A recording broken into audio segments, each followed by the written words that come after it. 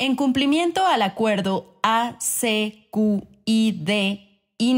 221, diagonal 2023, de conformidad con lo dispuesto en el artículo 134 de la Constitución Política de los Estados Unidos Mexicanos, la propaganda, bajo cualquier modalidad de comunicación social que difundan como tales los poderes públicos, los órganos autónomos, las dependencias y entidades de la administración pública y cualquier otro ente de los tres órdenes de gobierno, deberá tener carácter institucional y fines informativos, educativos o de orientación social. Las personas servidoras públicas tienen en todo tiempo la obligación de aplicar con imparcialidad los recursos públicos que están bajo su responsabilidad, sin influir en la equidad de la competencia entre los partidos políticos.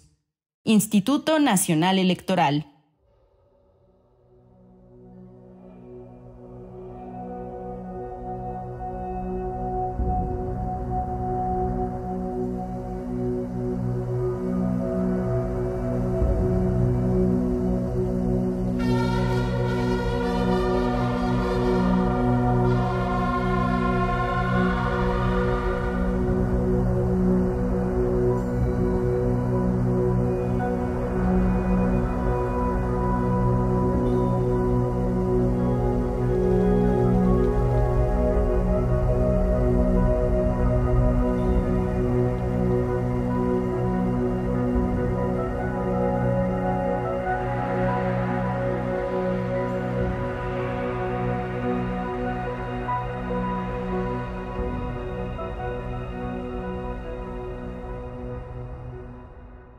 cumplimiento al acuerdo ACQID-INE 221, diagonal 2023, de conformidad con lo dispuesto en el artículo 134 de la Constitución Política de los Estados Unidos Mexicanos, la propaganda, bajo cualquier modalidad de comunicación social que difundan como tales los poderes. ¡Ánimo!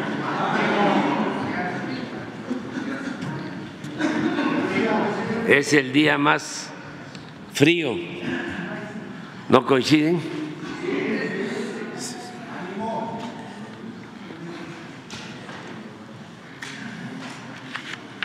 Muy bien. Vamos a informar, como lo hacemos los martes, sobre la situación de salud y vamos eh, el día de hoy a tener la reunión de los premios al deporte, el, Premio Nacional de Deporte 2023 y también los reconocimientos a quienes participaron en eh, los Juegos Panamericanos en Santiago de Chile a las 10 de la mañana en el patio. O sea que aquí estamos calientitos, pero al rato vamos a estar allá, en el patio, para sentir más el frío. Pero como somos deportistas todos, no hay problema. Pues vamos a empezar con el doctor Alcocer. Con su permiso, señor presidente, pues hoy en el pulso de la salud el maestro Zoé Robledo nos informará de los avances del bienestar en 23 estados en una forma breve, pero con datos muy interesantes. consisten en eh, eh, señalar el aumento del personal médico del sector que se ha desarrollado en estos 23 estados. En especial, hay muchos, pero en especial los indicadores de abasto, las camas sensibles con las que se cuenta ahora y el equipamiento que se ha desarrollado a través de estos más de dos años. Por, es cuanto.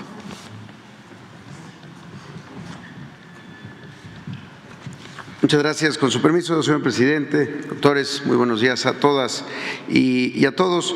Eh, sobre este avance del IMSS Bienestar, la institución de atención médica del Gobierno de México para la atención a población sin seguridad social.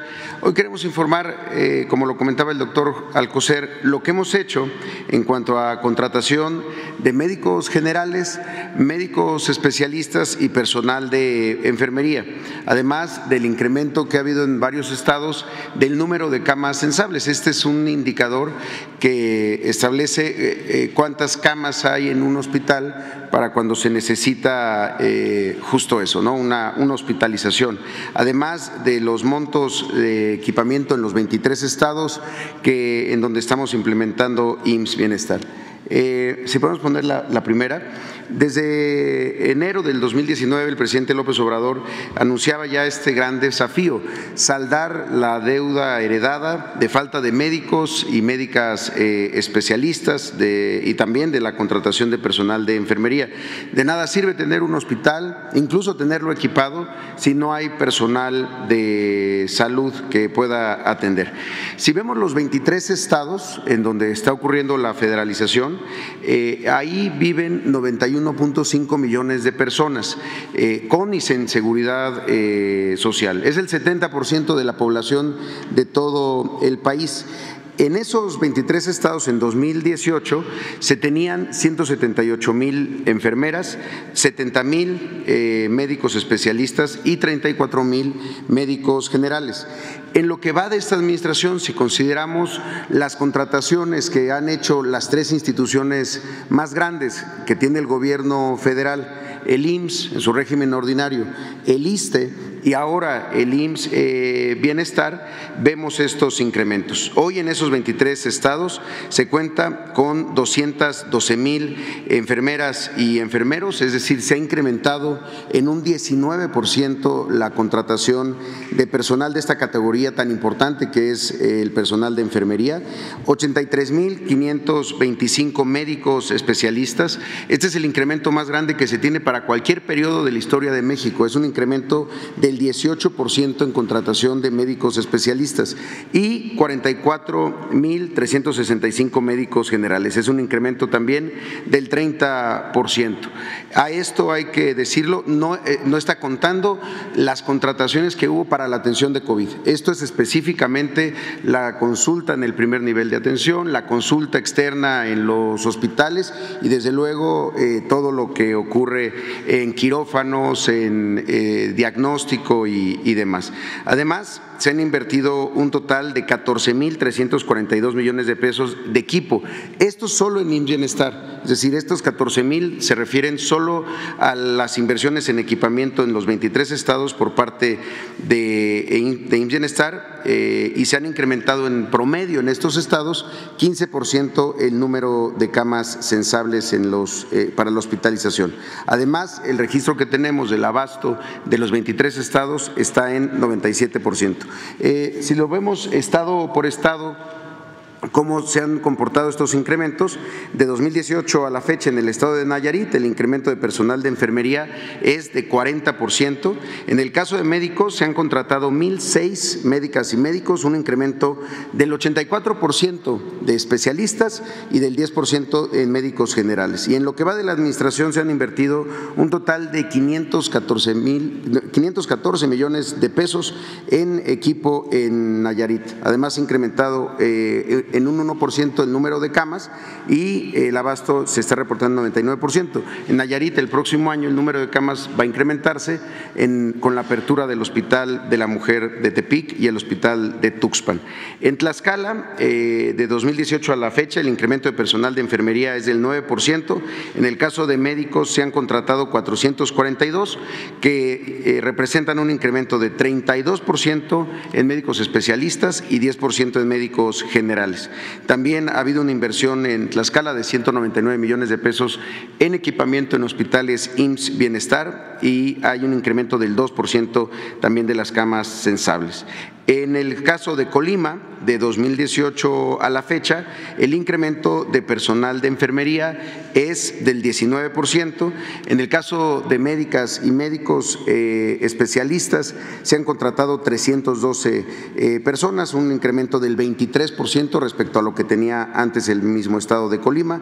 En médicos generales, el incremento es del 33%. Ahí en Colima se han invertido 202 millones de pesos en equipo para hospitales IMSS Bienestar. Además, hay eh, un incremento del 1% en las camas sensables y un abasto reportado del 99%. En el caso de Baja California Sur, de 2018 a la fecha, el incremento de personal de enfermería es del 20%. En el caso de médicos se han contratado 290. Esto eh, impacta en un incremento de 19% más médicos especialistas contratados en Baja Sur y 23% más médicos generales. También en, en, este ejercicio se han invertido 155 millones de pesos en equipo en hospitales sin bienestar de Baja California Sur y se ha incrementado un 32% el número de las camas sensables. A esto habrá que sumar con la apertura del hospital de Santa Rosalía en Mulegé eh, otro tanto el número de camas eh, sensables el próximo año.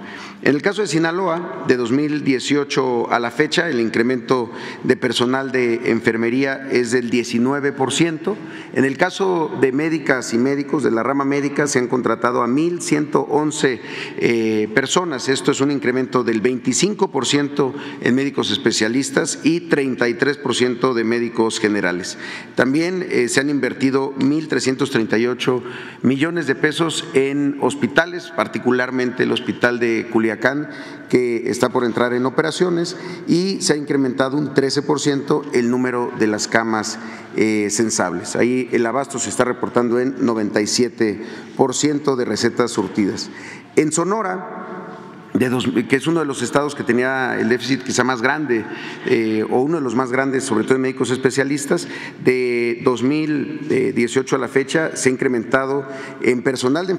en el caso de la rama médica se han contratado a 1.218 médicas y médicos, un incremento de 29% en especialistas y 47% el incremento de médicos generales en Sonora. También en lo que eh, llevamos este ejercicio se han invertido un total de 974 millones de pesos en equipo para hospitales eh, IMSS Bienestar.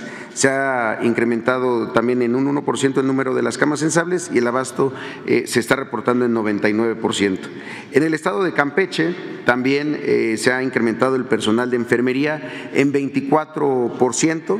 En el caso de la rama médica se han contratado a 424 personas. Esto es un incremento de 37% más médicos especialistas en Campeche y 27% más médicos y médicas generales en ese estado. También se ha hecho una inversión de 220 millones de pesos solo en equipo en los hospitales eh, transferidos al IMSS Bienestar en Campeche. Además, se ha incrementado un 40% el número de las camas sensables y se está reportando un abasto del 97%. Eh, en el estado de Guerrero, el incremento de personal de enfermería es del 31%.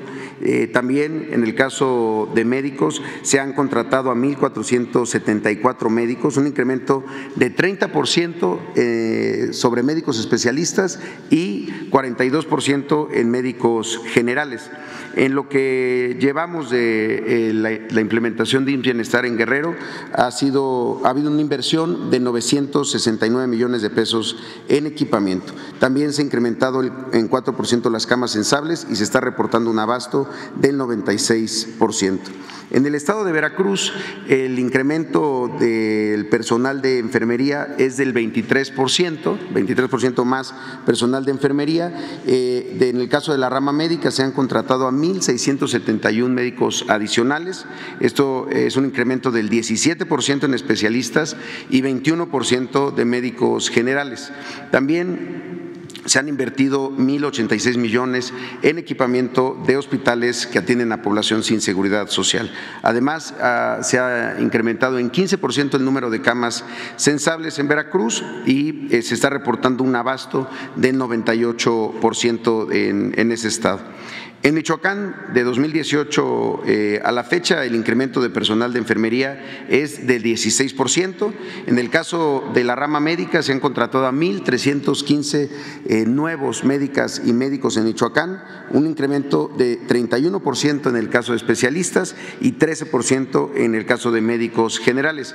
También en el ejercicio de implementación de Bienestar se han invertido 872 millones de pesos en equipamiento en hospitales IMSS Bienestar de Michoacán y se ha incrementado un 12% las camas sensables. Se está reportando un abasto del 95%. En el caso de Morelos, el incremento de personal de enfermería es de 13%. En el caso de la rama médica, se han contratado a 465 médicas y médicos. Esto es un incremento de 7% en el caso de especialistas y 60% en el caso de médicos generales. También eh, se han invertido 466 millones de pesos en equipo para hospitales IMSS Bienestar de Morelos. Eh, el número de camas sensables se ha mantenido estable, un pequeño incremento de 1% y el abasto eh, está reportándose en 98%. En la siguiente podemos ver a Zacatecas, que ha incrementado su personal de enfermería en 24% más. Se han contratado también a 665 médicas y médicos. Eh, esto es un incremento de 22% en el caso de especialistas y 35% en el caso de médicos generales. En lo que va de esta administración ha habido una inversión de 231 millones de pesos en equipamiento para hospitales de Bienestar de Zacatecas y eh, un incremento del 20% de las camas sensables, sobre todo por la puesta en marcha del Hospital de Fresnillo, que había llevado ya eh, cerca de cinco años eh, abandonado sin operación y que desde hace año y medio está en funciones. Se está reportando desde Zacatecas un 98% de recetas surtidas. En el caso de San Luis Potosí, se ha incrementado el personal de enfermería en 13%.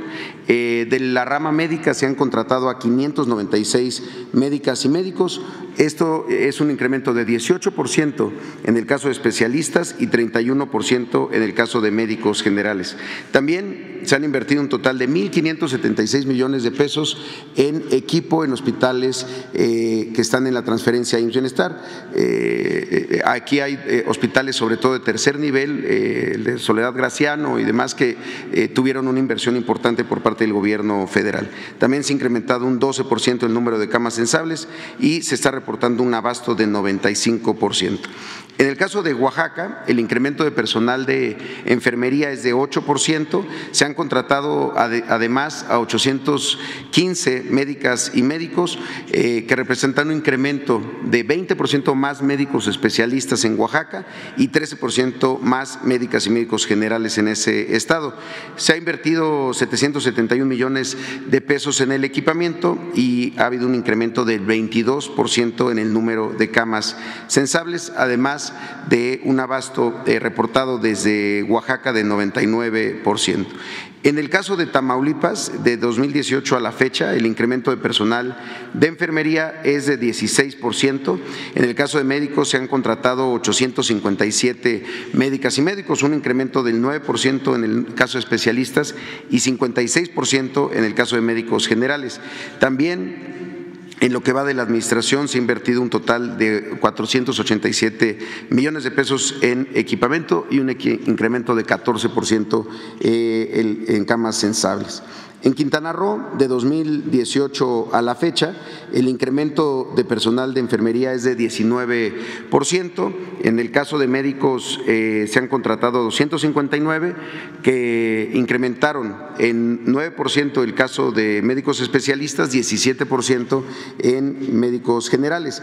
También eh, se han invertido 162 millones de pesos en equipo y un incremento de 12% del número de camas sensables. Aquí se, pusieron se echaron a andar dos hospitales, eh, sobre todo el de, el de Tulum. Estos son de los estados de más reciente incorporación.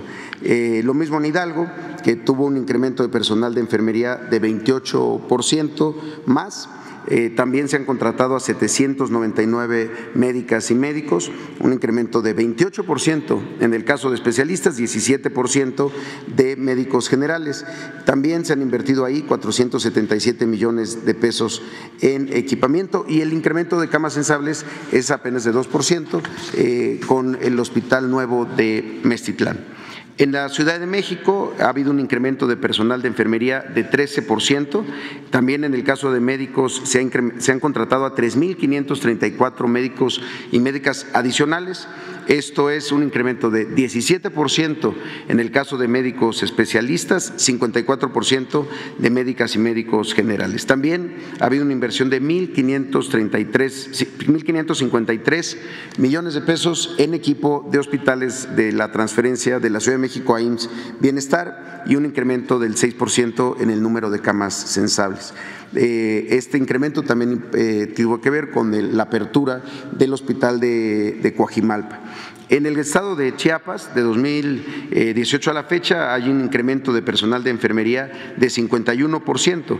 Además, en el caso de médicos, eh, se han contratado a 2.656, es decir, se ha incrementado en 35% en especialistas, 62% en médicos generales. También se ha hecho una inversión de 153 millones de pesos en eh, equipamiento por parte de la Federación en hospitales que están en la transferencia y un incremento de 5% de la las camas sensables. En el caso de Tabasco, también se ha incrementado el personal de enfermería, es el estado con el incremento más grande en 138% de eh, incremento de, personal de enfermería.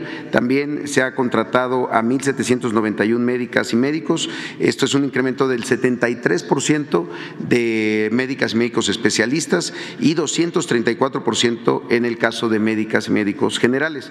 En lo que llevamos de este ejercicio se han invertido 1.300 millones de pesos en equipo, un incremento del 26% eh, en las camas sensables que se reportan en Tabasco.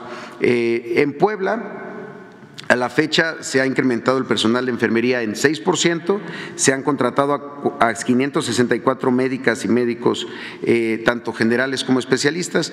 Eh, esto es 10% de incremento en médicos especialistas, 7% de médicos generales en Puebla y también una inversión de 106 millones de pesos por parte del gobierno federal a los hospitales que están en la transferencia a IMSS Bienestar. También hay un incremento de 33% en el número de camas sensables. Y los últimos dos estados, los más recientes, eh, Baja California, que ha tenido un incremento en personal de enfermería del 13%. Eh, en el caso de la rama médica se han contratado a 517 médicas y médicos que representan un incremento de 11% más médicos especialistas en Baja California, 32% más médicas y médicos generales en Baja California. También ha habido una inversión de 363 millones de pesos en hospitales de que van a pasar o que están pasando a estar ya en Baja California, eh, lo que ha implicado también un incremento del 1% de las camas sensables. También hay dos grandes hospitales que están eh, eh, echándose a andar en ese estado, en Tijuana. Y finalmente el Estado de México, que ha incrementado su personal de enfermería en 10%. En el caso de médicos se han contratado 703, un incremento de 4% en el caso de especialistas, 7% en el caso de médicos generales. También ha habido una inversión de 177 millones de pesos por parte de la Federación en hospitales que van a ser parte del IMSS Bienestar. Aquí tenemos un reto enorme de echar a andar varios hospitales que habían estado eh, abandonados. Hay un incremento ya del 29% de las camas sensables. Eh, finalmente, señor presidente, comentar que en, marzo eh, se gradúan eh, quizá la generación más grande de médicas y médicos especialistas que forma el sector público en nuestro país, cerca de 14 mil médicas y médicos especialistas que terminan eh, su formación en marzo y se espera contratarlos, recontratarlos para todas las instituciones, fundamentalmente para el IMSS Bienestar, que es la que tiene mayor necesidad de crecimiento aún de médicas y médicos especialistas. Es cuanto. Muchas gracias. Muy bien, pues este es el informe. Vamos, adelante. Gracias, muy buenos días a todos, a todas y a todos. Liliana Noble de Pulso Saludable. Eh, señor presidente, la revista Time Out publicó el ranking de las 10 ciudades más asequibles, con mayor eh, diversidad cultural y, por supuesto, eh, la mejor oferta. Participaron en esta encuesta eh, Ciudades de todo el mundo, se entrevistó a cerca de 21 mil residentes de todas las ciudades de todo el mundo. Eh, el segundo lugar lo obtuvo Praga en República Checa, el tercer lugar Ciudad del Cabo en Sudáfrica. También participaron de la región eh, Buenos Aires en Argentina, Florencia en Italia, Melbourne en Australia, Edimburgo en Escocia, Atenas en Grecia y por supuesto Florencia en Italia y el primer lugar lo obtiene la Ciudad de México. Yo quisiera preguntarle, señor presidente, si conocía de esta encuesta, entiendo que sí, y cuál es la, opinión del gobierno federal y también conocer qué es lo que le ha dicho al respecto la secretaria de, Cultura, eh, Alejandra Flamstro. Bueno, eh, la Ciudad de México tiene mucha fama desde los memoriales de Culhuacán que decían mientras el mundo exista no dejará de reconocerse la gloria y la fama de México, Tenochtitlan. Palabras más, palabras menos. A ver, ¿por qué no lo pones?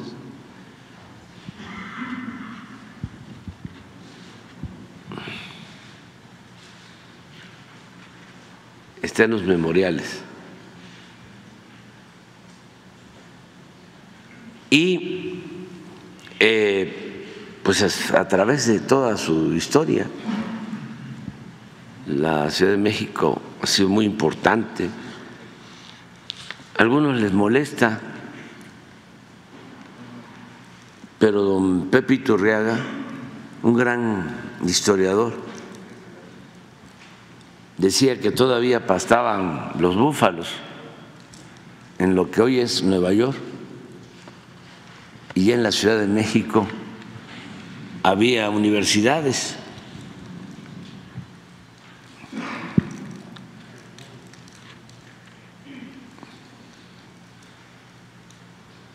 Y últimamente ha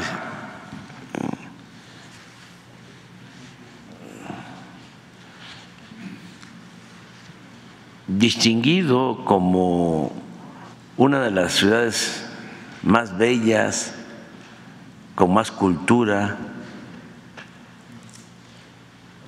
y también algo que no les va a gustar a nuestros adversarios, pero que lo voy a decir. Ya ven, ya ven que siempre digo lo que pienso, de las más seguras mundo. Ya va a tener nota Samarripa y el Universal. Este, así es. En tanto que permanezca el mundo, no acabará la fama y la gloria de México Tenochtitlan.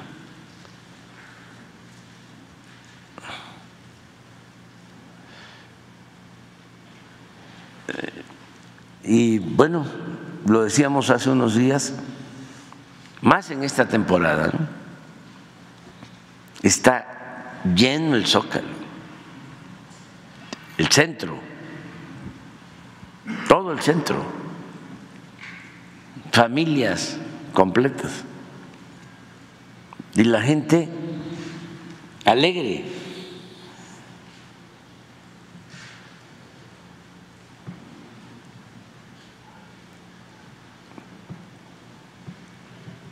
Y en las colonias como la Roma, la Condesa,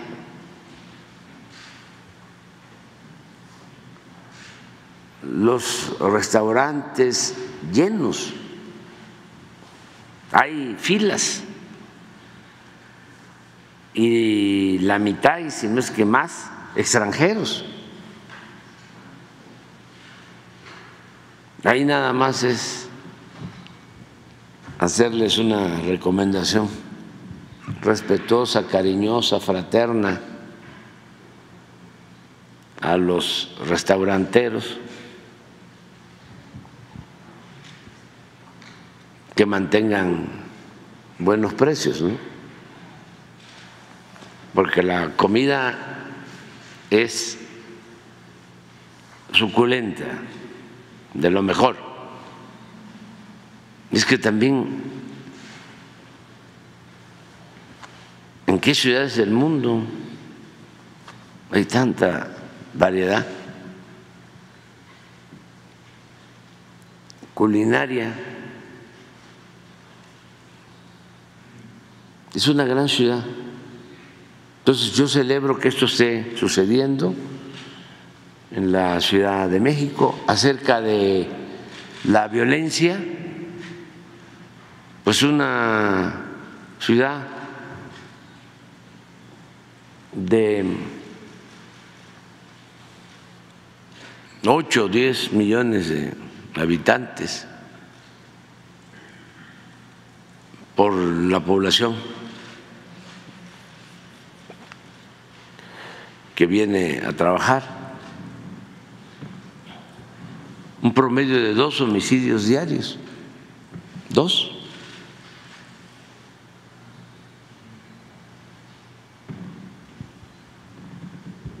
A ver si tienes ese dato.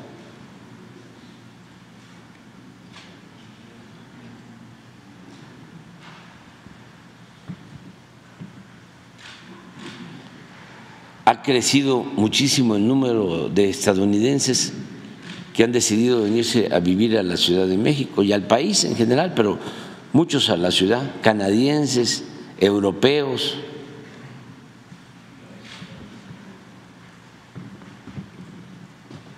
Este es el último dato.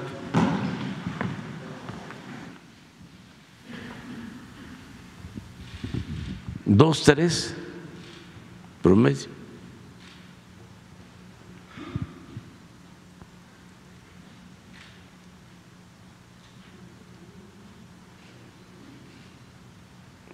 Es el comportamiento de homicidios.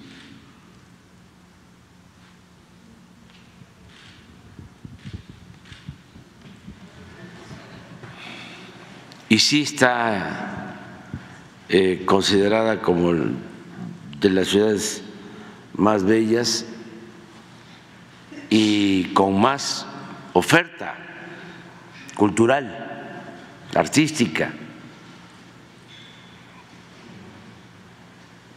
La Ciudad de México. Y vuelvo a repetir, ¿eh? hasta que se internalice,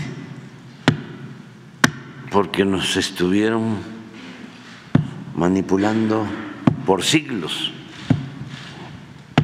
México es la primera potencia cultural del mundo. México, nuestro país primera potencia cultural del mundo.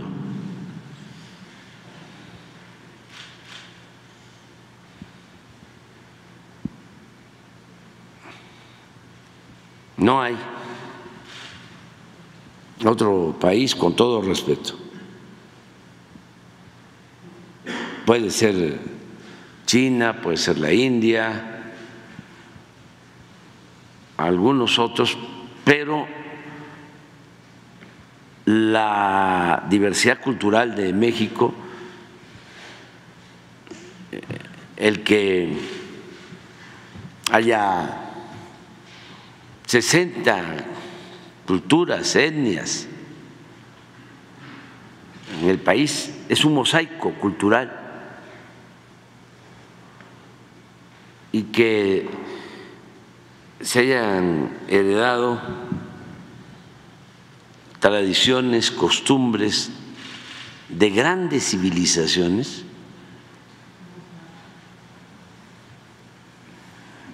civilizaciones milenarias.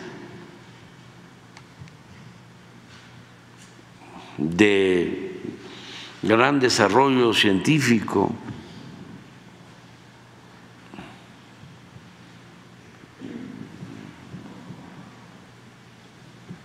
Astronómico, matemático, en todos los órdenes.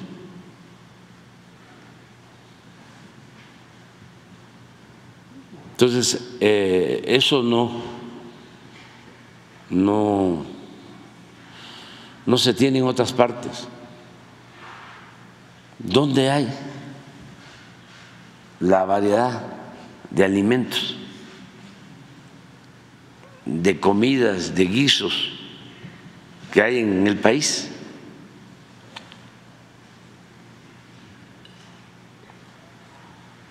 de un municipio a otro. Ya hay comidas distintas.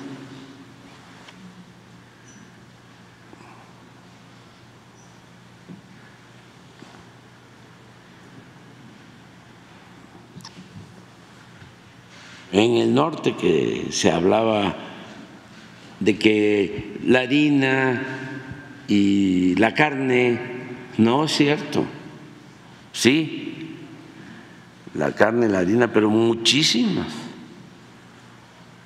otras comidas en el norte del país.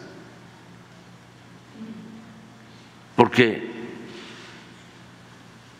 en todos lados hubo florecimiento cultural. A uno allá en Chihuahua está Paquimé,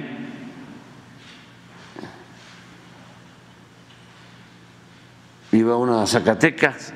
¿Qué se conoce de Zacatecas? Pues el centro histórico que es bellísimo, no colonial. Sí, pero no se conoce la quemada en Villanueva, que es una de las zonas arqueológicas más imponente del país. Estamos hablando del norte.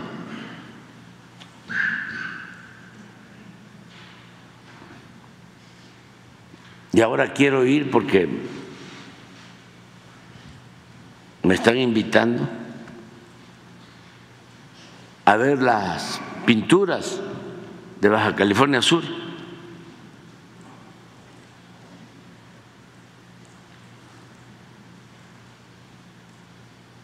No tendremos pinturas, las rupestres de, de Baja California Sur, nada más que son dos días este, en mula o en burro.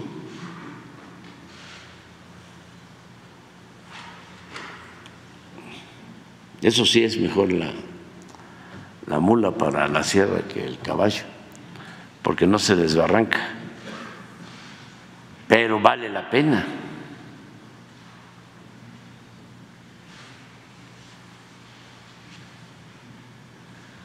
A lo mejor las encontramos. San Francisco, que son las que se Sí.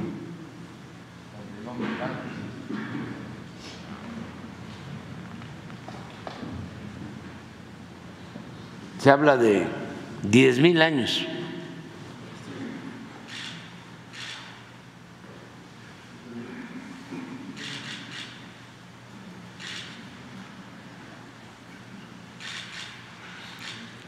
Y hay que estarlo diciendo porque si no, vamos a seguir creyendo que nos trajeron la civilización hace 500 años, los europeos.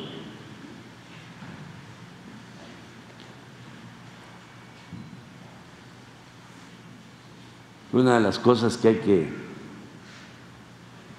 lograr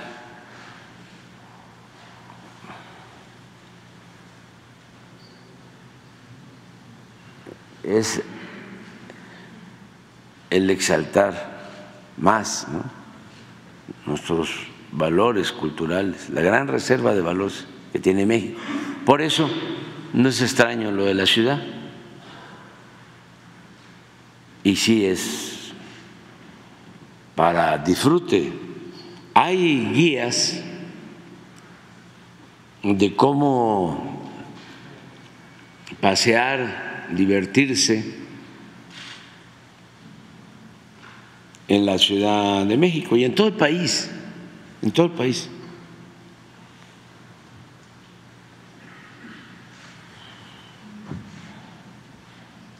Gracias, señor presidente. Y en una segunda pregunta tuve la oportunidad de entrevistar a la doctora Álvarez Builla eh, acerca de los stents mexicanos. Ella me decía que este desarrollo va a ayudar a contribuir al país a evitar un gasto eh, de aproximadamente 5 millones mensuales, que es lo que eh, en la actualidad se utiliza para salvar la vida de quienes están en necesidad de este tratamiento para evitar un infarto y que mueran. También me comentó acerca de los avances de la vacuna patria y, por supuesto, de los ventiladores. Yo quisiera preguntarle, señor presidente, si están considerando que todos estos dispositivos y, por supuesto, la vacuna patria, cuando ya esté a disposición eh, en un segundo momento, adicional a que se utilicen en la población mexicana, también se, utilizarán como eh, para exportación y si estos elementos también formarán parte de esta megafarmacia. Bueno, lo primero es que eh, sí se ha avanzado en el nuevo CONACIT, porque se ha hecho investigación para beneficio de México. Antes eh, el presupuesto de CONACIT se repartía, aunque parezca increíble, se entregaba a empresas y en algunos casos a empresas transnacionales. Eran subsidios del presupuesto público para empresas que no aportaban nada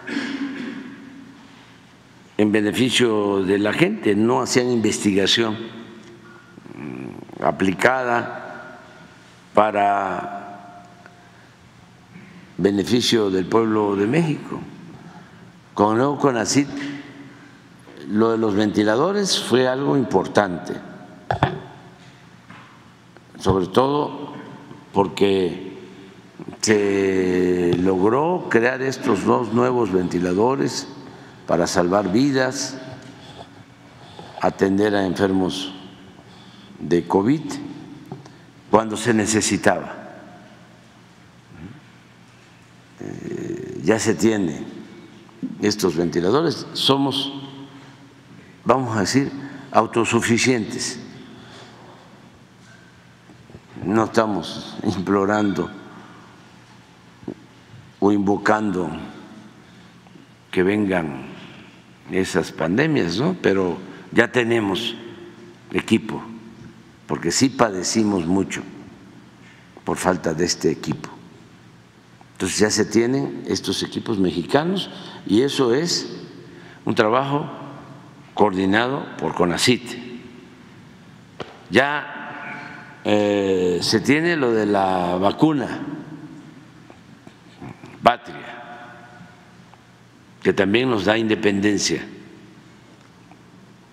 Eh, esto que hablas de los STEMs, que se está trabajando, eso va a ayudar mucho.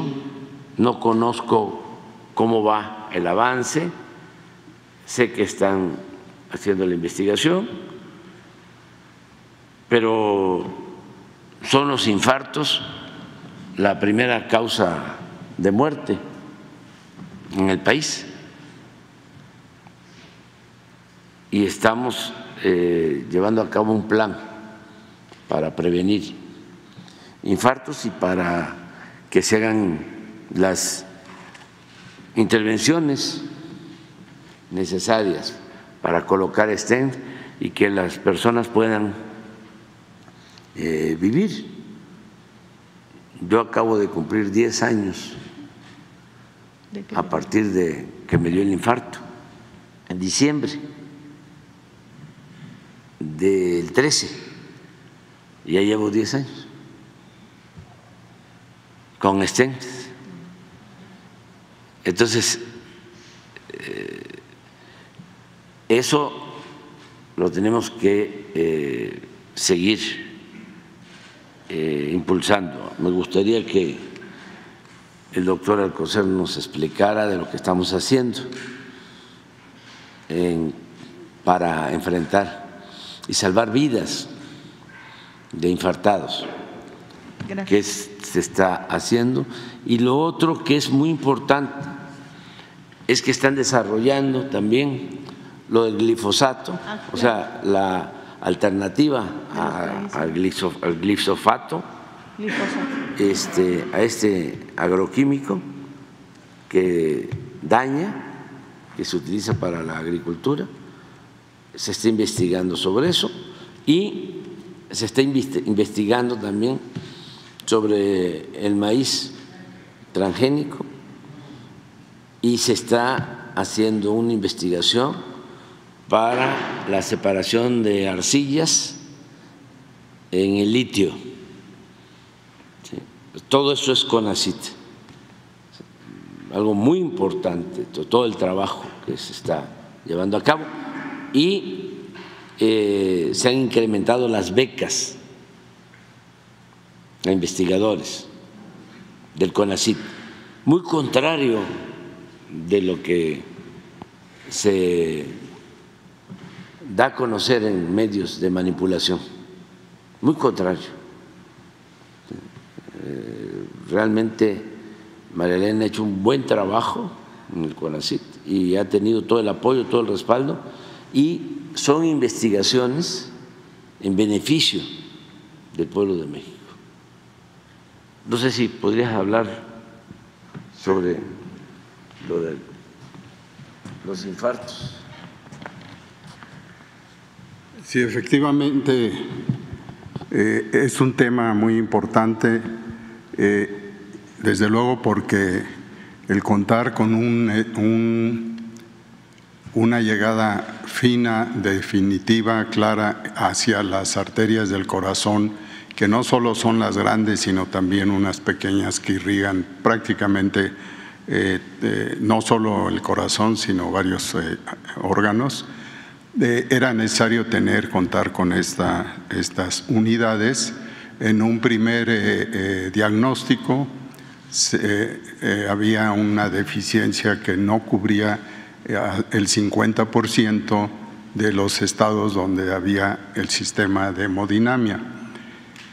Pero el presidente, el señor presidente, hizo un encargo de que quería, que deseaba, porque lo justificaba la casuística de que es la principal causa de muerte, eh, y no de 60 años hacia arriba, porque ahora esto está por diferentes razones eh, sucediendo en mujeres en mayor eh, frecuencia y superiores en su edad a 40 o 50 años. O sea que hay un recorrido también biológico que nos señala que esto va a cambiar y tenemos que estar este, preparados.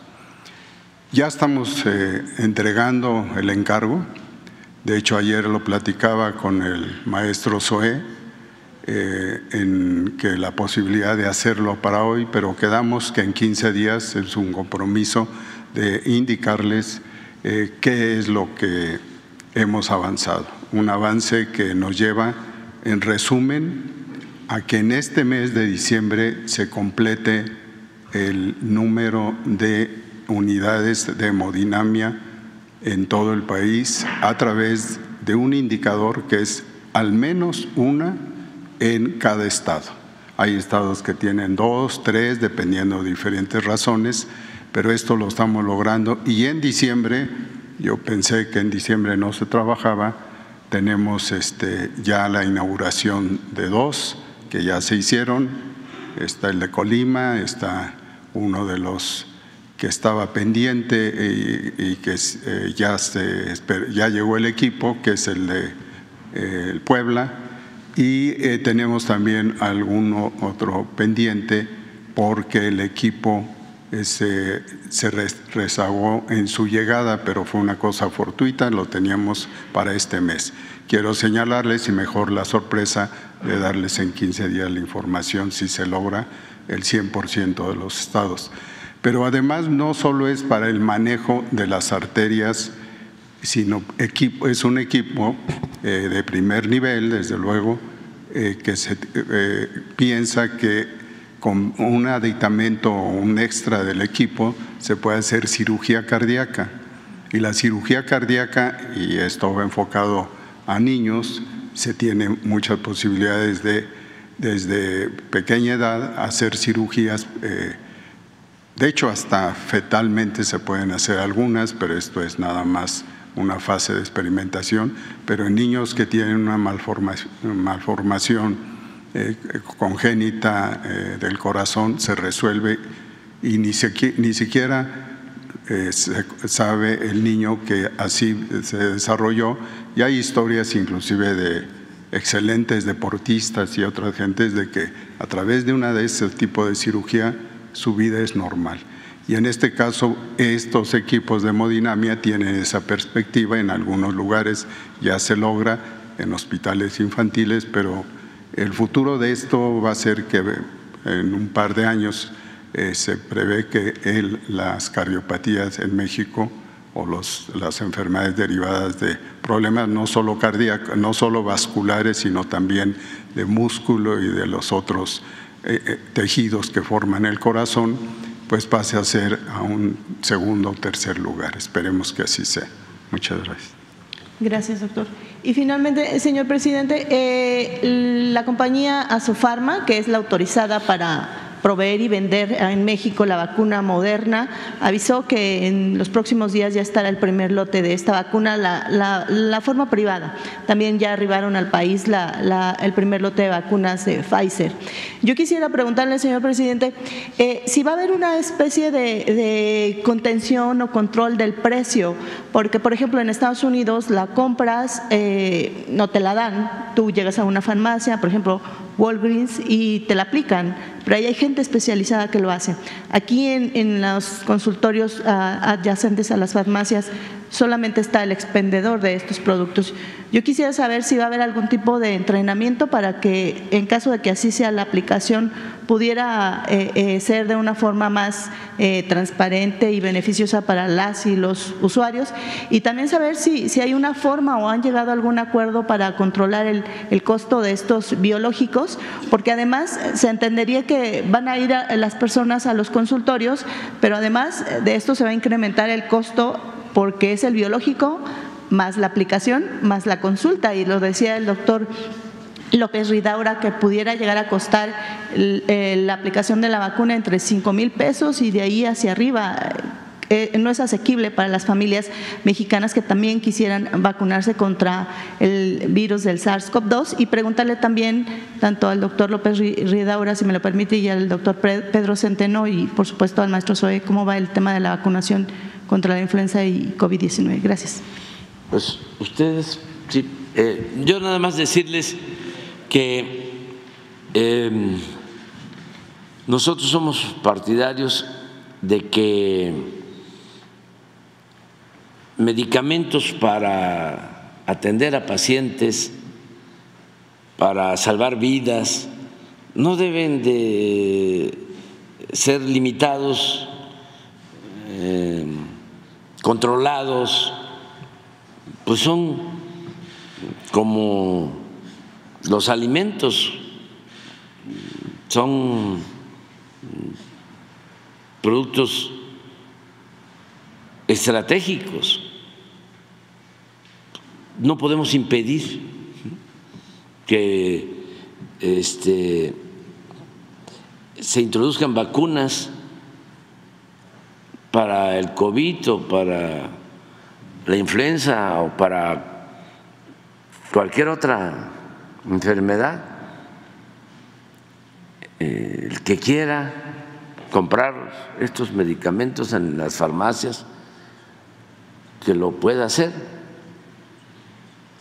Solo que ahora el Estado garantiza estas vacunas.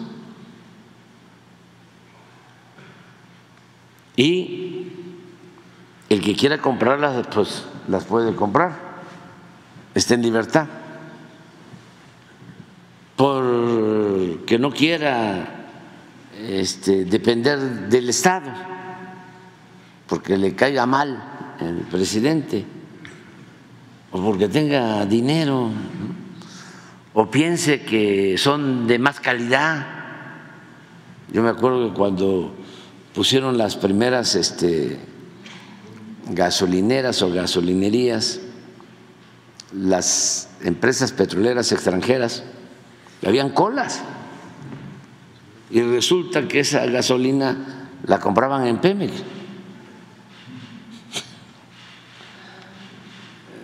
Porque hay esa mentalidad. Bueno, pero somos libres. Lo importante es que hay vacuna para el pueblo, para todos, para ricos y para pobres, y no les cuesta nada, porque de conformidad con el artículo cuarto de la Constitución se debe de garantizar el derecho a la salud, porque la salud no es un privilegio, es un derecho del pueblo. Entonces, eh, por eso cuando plantearon que si íbamos a permitir que entrara, claro que sí, se quieren ir a vacunar a otro país, también, o sea, somos libres. Vivimos un país libre. La única diferencia es que el Estado protege a todos, no incumple con su responsabilidad social. Y es libertad garantizando atención a todos. No es como quieren algunos la libertad del zorro en el gallinero. Eh, pero sí, el que quiera eh, va a poder comprar la vacuna. Y no estoy muy de acuerdo en eh, regular precios, porque hay vacunas yo me vacuné hace como un mes, me puse las dos vacunas, la de COVID y la de influenza, y muy bien, ni siquiera tuve reacción.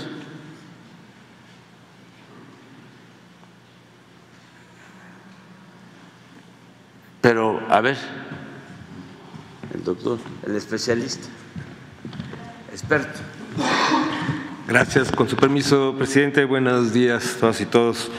A ver, sí, muchas gracias por la pregunta. Eh, en cuanto a, primero me gustaría uno, el contexto de la epidemia, eh, de, la curva epidémica de COVID desde la semana 40 hasta ahora, que estamos en la semana 50, eh, ha habido un descenso continuo y ahora más o menos la positividad está entre 3% y 5%, pero realmente la positividad para COVID ha ido disminuyendo de manera continua.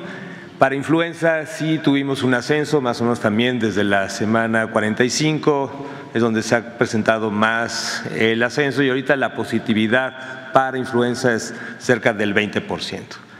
Eh, en cuanto a la vacunación, desde, desde octubre que se inició la vacunación de influenza, tenemos eh, un total de 19 millones aplicadas, de los 35 millones que tenemos como venta, se han aplicado 19 millones, esto es 53 eh, por ciento de la meta, y en todas las instituciones eh, se ha avanzado de manera similar, se han aplicado 9 millones por la Secretaría de Salud, 7.3 millones por el IMSS ordinario, 1.2 millones por el IMSS Bienestar y 1.2 millones por el ISTE, también SEDENA, CEMAR y otras instituciones instituciones, Pemex también han aplicado.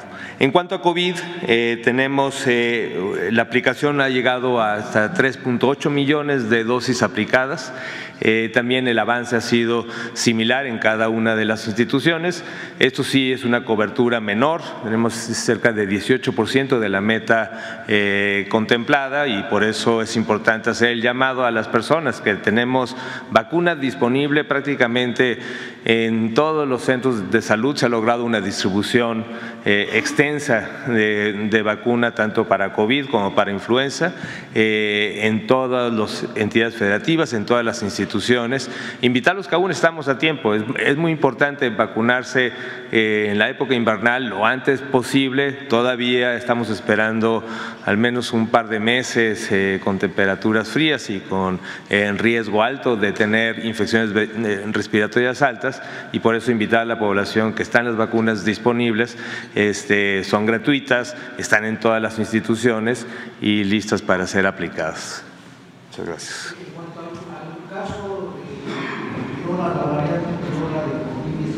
caso de la variante de COVID-19, ¿qué hay en ese sentido? Ah, muchas gracias. Sí, este, como saben y también lo publicamos en el plan de gestión a largo plazo, eh, tenemos un sistema de vigilancia que tiene múltiples fuentes de información. Una de ellas es el sistema de vigilancia epidemiológica Centinela, que es eh, lo reforzamos posterior a dar por terminadas las medidas extraordinarias, eh, y es el sistema que tenemos utilizando para ver los casos, y es un poco lo que les comenté previamente. Pero también tenemos un sistema coordinado desde el Instituto de Referencia Epidemiológica del INDRE, eh, como parte de la subsecretaría, coordinado también con el Instituto de Medicina Genómica y otros institutos nacionales de salud, también otras instituciones, el IMSS, que participamos en un consorcio de vigilancia genómica, que es algunos de las, de las variantes que salen positivas a COVID, se envían a estos laboratorios de secuenciación y se participa dentro de este gran consorcio global que también mandamos muestras para vigilar eh, las variantes, las variantes genéticas que tienen eh, el virus. Eh, ya se venía reportando por parte de la OMS un incremento en esta variante, la, la variante pirola, pero es la JN1, que es una subvariante de Omicron y ha tenido un incremento en la relevancia o en la proporción, cerca de, se estima que ya en Europa y en algunas regiones puede estar llegando hasta 15, 17% de todas las variantes, eh, está predominando la JN1 y aquí en México, de las muestras que hemos tomado de agosto a la fecha, eh, hemos encontrado una, un caso de esta variante JN1 aquí en la Ciudad de México, eh, pero realmente, digo, sí esperamos, porque lo que se ha visto en el mundo es que haya un incremento de esto, lo que nos habla que seguramente tiene mayor capacidad de transmisión, pero por lo que se sabe de los casos que hemos tenido en Europa y que se ha tenido a nivel global, es una enfermedad que no tiene un cuadro ni clínico más grave, ni tiene así complicaciones identificadas eh, tampoco se ha identificado que escape totalmente a la inmunidad, tanto a la inmunidad natural como a la inmunidad de vacunas. Este, entonces consideramos que sí, sí la vamos a estar vigilando, pero para nada representa una alerta importante de un incremento de casos, pero estaremos vigilándolo.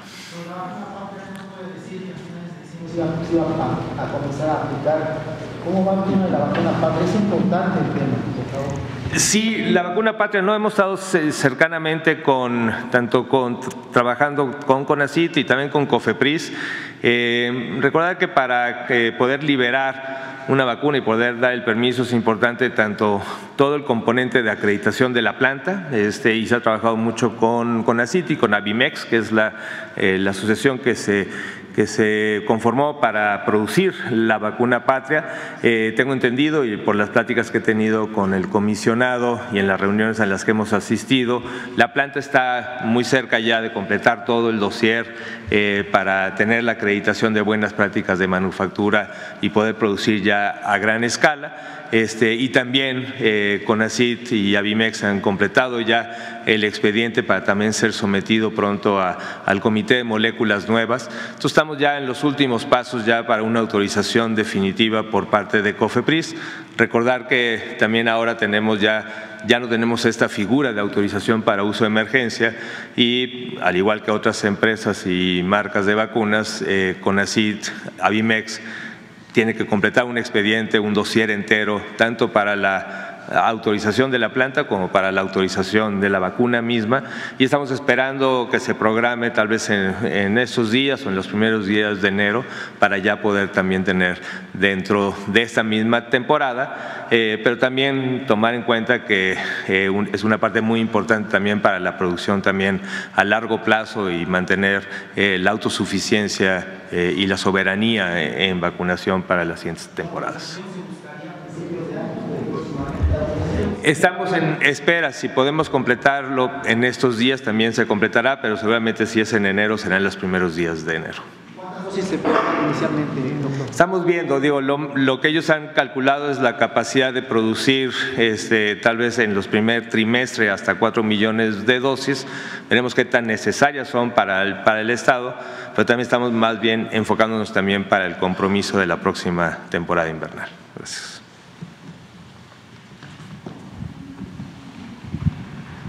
Buenos días, Liliana Piña de tiempo.com.mx y puentelibre.mx en Ciudad Juárez.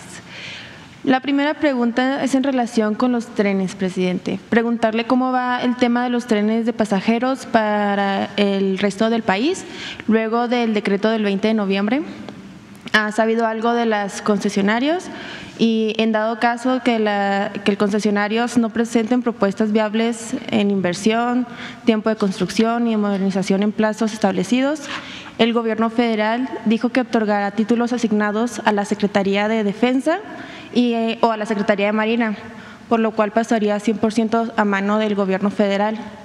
Se tiene estimado un costo que tendrá dicha construcción y se tiene planeado las medidas de seguridad que se implementarán y cómo acoplarán los horarios de los trenes de pasajeros y de carga. Pues eh, se está avanzando, estamos esperando que se concluya el plazo eh, para enero que se les eh, ofreció, se estableció con las empresas para que ellos nos presenten una propuesta eh, si recordamos, ya hay un decreto que se publicó con el propósito de utilizar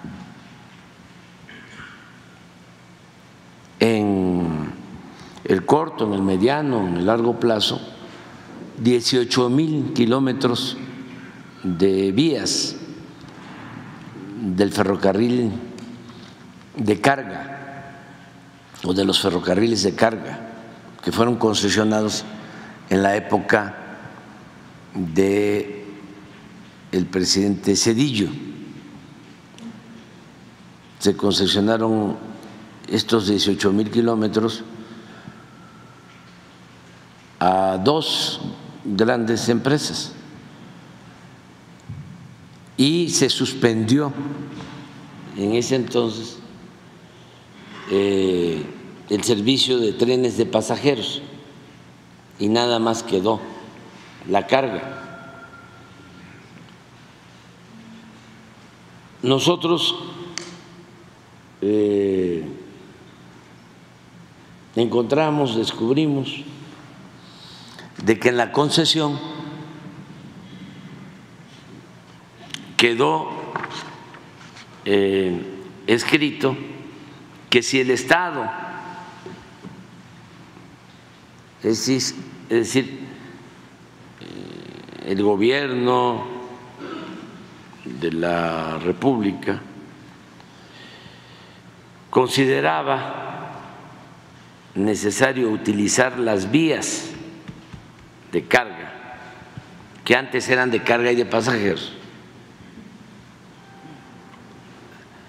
utilizarlas para trenes de pasajeros,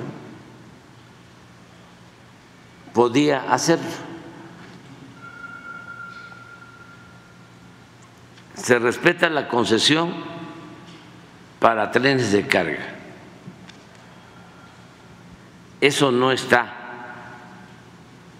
en cuestión. Los concesionarios van a seguir eh, utilizando las vías para los trenes de carga y nosotros respetamos eso. Y todo el convenio, toda la concesión. Pero en la misma concesión hay una cláusula que es la que establece que esas vías pueden también utilizarse, concesionarse, puede ser a los mismos que tienen la concesión de los trenes de carga o a otros empresarios de la industria ferroviaria para trenes de pasajeros, utilizando las mismas vías. Y se habla incluso de que en el tránsito de trenes de pasajeros y de carga tendrán prioridad los trenes de pasajeros.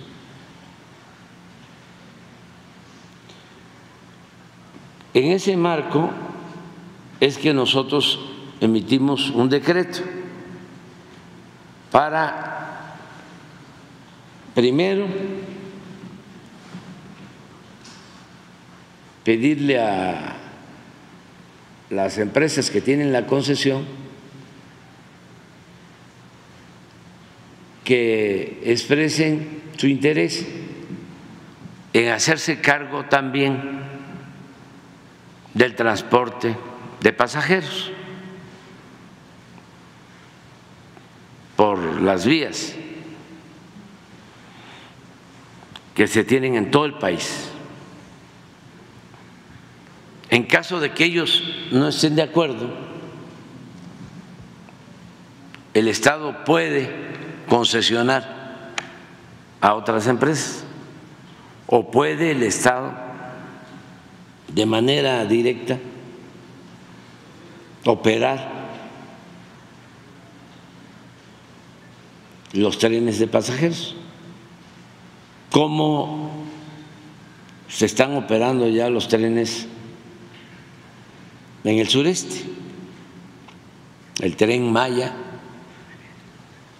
ya es una operación del Estado a través de la Secretaría de la Defensa y el viernes iniciamos ya la operación de trenes de pasajeros en el istmo. Ya inauguramos de eh, Salina Cruz a Coatzacoalcos el viernes y el tren Maya, pues son 1.554 kilómetros.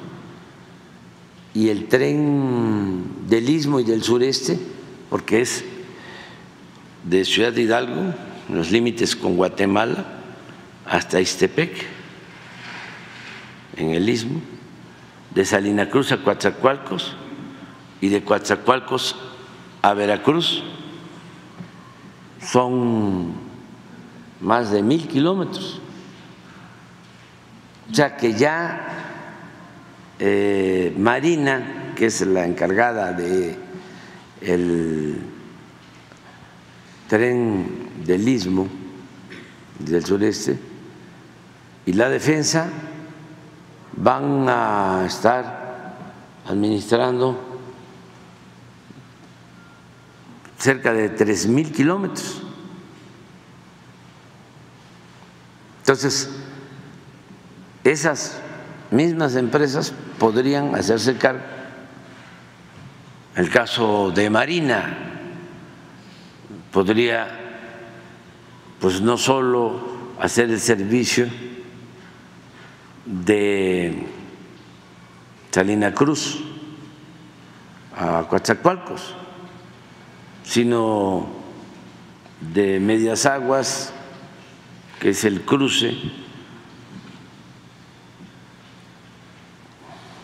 el entronque con esa vía hacia Veracruz y de Veracruz a México, a la ciudad con tren de pasajero. Y se podía este, llegar en tren desde Cancún hasta la Ciudad de México. No solo eso, de la Ciudad de México a Nogales, Nueva Ciudad Juárez, a la frontera, porque están todas las líneas. ¿No tienes el plano de las líneas? Eso es lo que vamos a decidir a principio de año. Si una de las empresas de las que tienen las concesiones dice, nosotros participamos, muy bien. O participamos, pero vamos a ir poco a poco adelante. Si no, se queda ya sea en el Estado, en espera de que se den los cambios también, porque tiene que ver con un plan nacional, pero sería todo esto. Es que así estaba antes.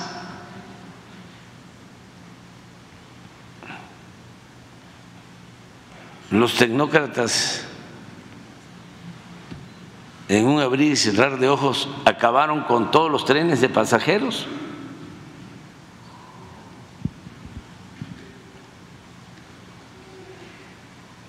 Entonces, todo esto es lo que ya se está recuperando.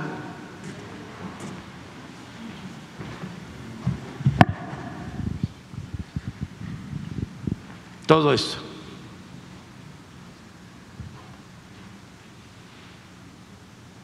Y esta que no estaba.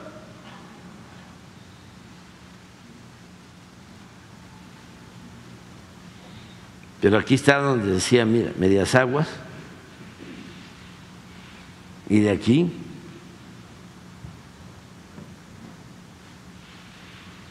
hasta la Ciudad de México. Y de la Ciudad de México a Querétaro, y bueno, Guadalajara. hasta Nogales, hasta Mexicali.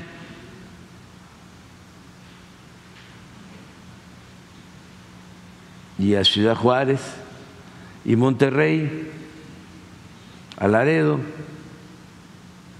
Piedras Negras.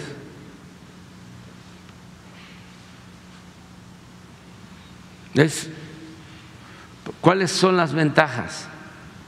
Primero, que ya se tienen las líneas tiene el derecho de vía. Imagínense lo que es construir líneas nuevas. No se puede. Llueven los amparos, con razón. Además, ¿cuánto tiempo para conseguir los derechos?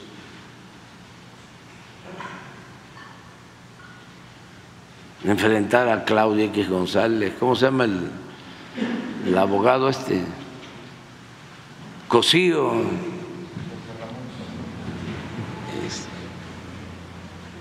A todos estos.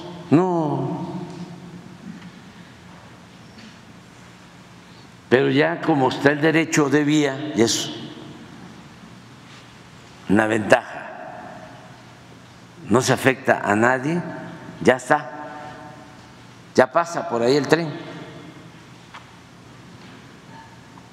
Esa es una ventaja. Otra ventaja es que sería un medio de transporte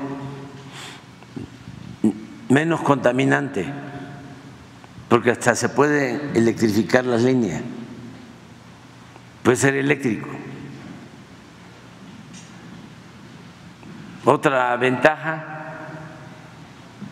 es que es un medio de transporte cómodo. ¿No vieron lo que publicó el Reforma? Que hasta se duerme la gente. ¿eh? Relajados, relajados, relajados.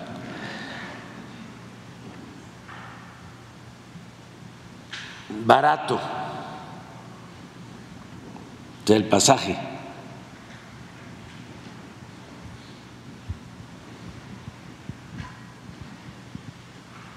Tiene muchas ventajas. Es un gran proyecto. Bueno, y también eh, es crear empleos, es inversión, es crear empleos.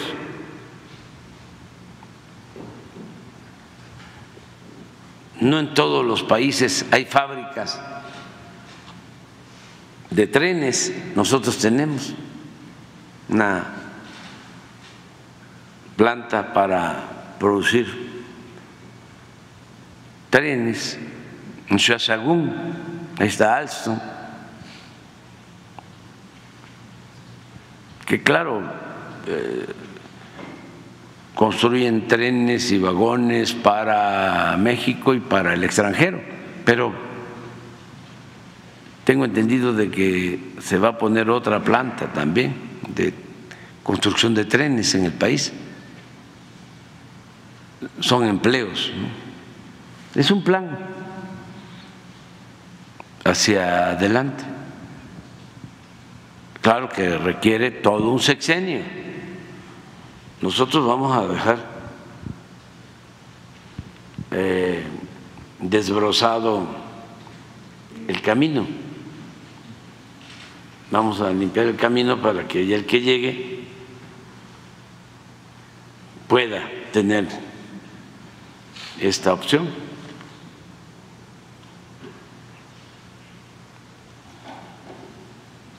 Entonces, eh, estamos en eso, por contestar tu pregunta, y yo creo que para finales de enero ya les decimos cómo, cómo vamos. Muy bien. En mi segunda pregunta, presidente, Pemex se recibió totalmente quebrado, en muy malas condiciones, con tomas clandestinas, accidentes y derramas de crudos. Y hasta en vías de desaparecer por la famosa reforma estructurales. A concluir su sexenio, ¿cómo va a entregar Pemex? Y, en su opinión, ¿qué debe hacer el próximo gobierno para impulsar la paraestatal? Lo importante es que se invirtió para explorar nuevos campos petroleros y tuvimos la suerte de que se encontró petróleo hay una reserva de petróleo que nos permite contar con este hidrocarburo hasta por 25, 30 años de reservas probadas. Es decir, no tenemos problema de que no se cuente con el petróleo. Hay quienes sostienen, y a mí me gustaría mucho, de que ya no se usara el petróleo, que no se usaran estos eh, recursos fósiles, recursos no renovables, y que se usaran más energías limpias y se está en ese proceso, pero va a llevar tiempo. No va a ser así como se piensa, de la noche a la mañana. Entonces, cuando menos nosotros tenemos garantizado petróleo hasta el momento de la transición energética. y eso es un aporte de nuestro gobierno, porque no se invertía en exploración. Tan es así que todo lo que hemos extraído de petróleo eh, ha sido compensado.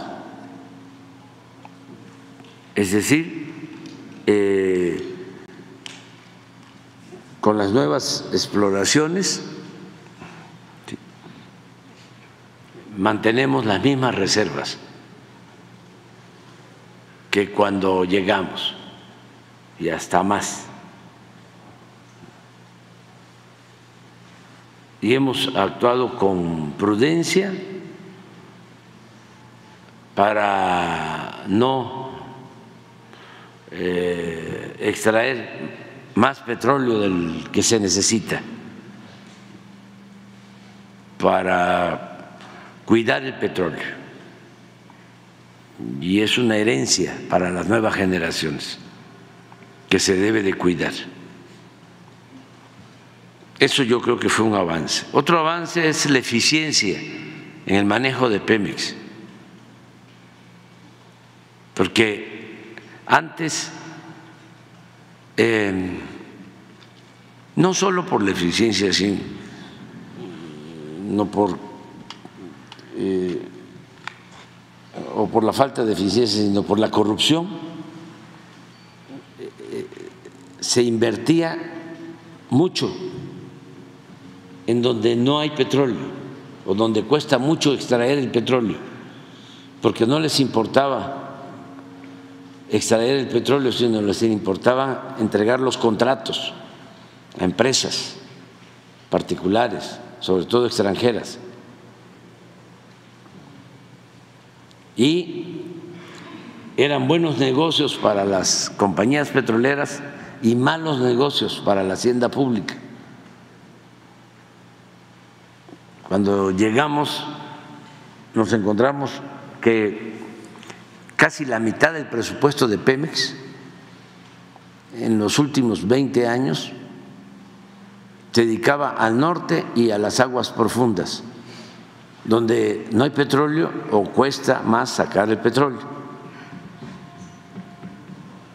Mientras el petróleo, como todos sabemos, pues está en el sur, sureste, en tierra y en aguas someras, no profundas. Y ahí nos invertí. Entonces cambiamos eso por completo. ¿Y cuál es el resultado? Que ahora nos cuesta menos extraer el petróleo que lo que costaba antes. Si antes costaba extraer el petróleo 15 dólares por barril, ahora nos está costando 8 dólares extraer un barril de petróleo, que se vende en 60 dólares. Entonces, hay más eficiencia porque no hay corrupción y porque eh, se fortalece a Pemex. También ayudó mucho a acabar con la corrupción, todo eso ha ayudado.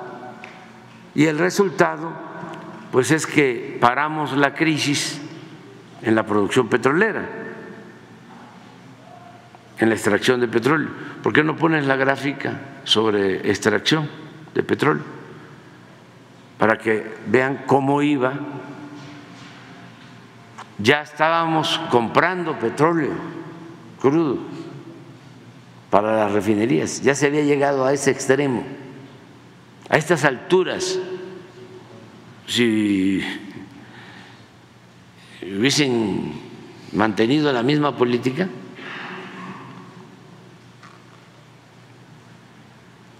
estaríamos comprando petróleo crudo. Porque van a ver la, la tendencia. Mire cómo iba.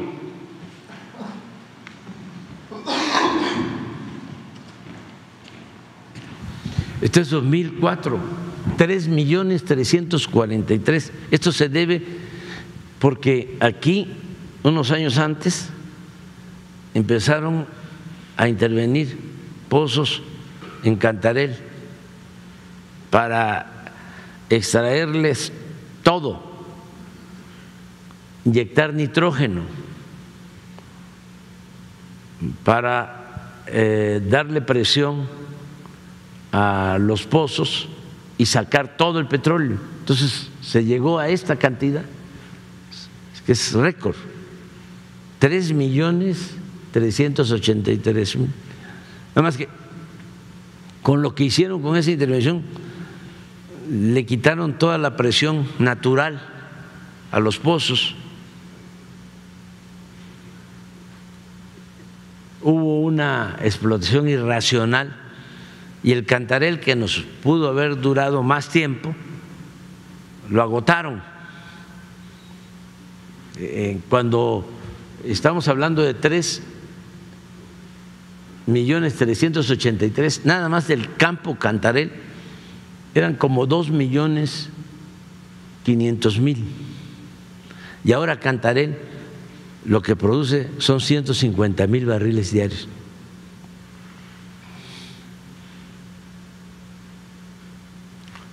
Pero miren, este es Fox.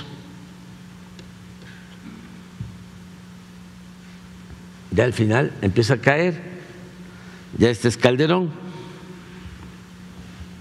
está acá, y aquí empieza Peña. Y aquí nos dejaron a nosotros. Y lo tenemos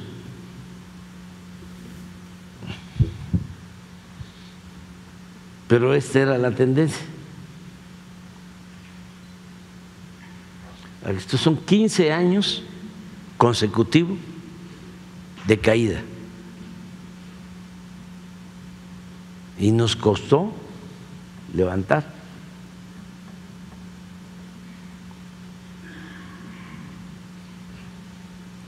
Entonces, eh, también le voy a pedir al director de Pemex que venga a exponerles, porque eh, Pemex tiene menos deuda de cuando llegamos al gobierno. Y sí le hemos ayudado porque pagaban de derecho a Hacienda 65 por ciento y este año del 24 van a pagar 30,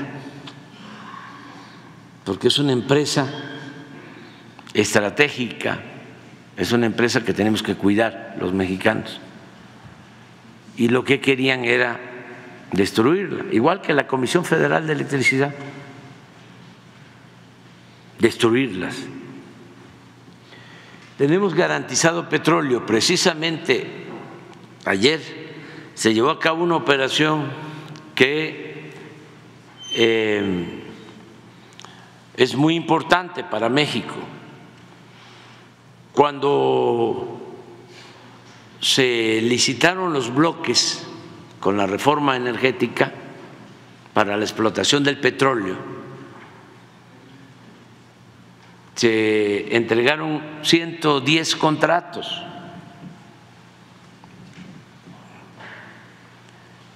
y se habló de que con esa reforma energética iba a llegar mucha inversión extranjera, íbamos a tener eh, producciones equivalentes a los tres millones de barriles diarios. Si ustedes revisan los considerandos de las leyes que se aprobaron cuando la reforma energética, ahí se establece. Todo eso fue un fracaso rotundo. Se dieron los 110 contratos y solo tres empresas invirtieron.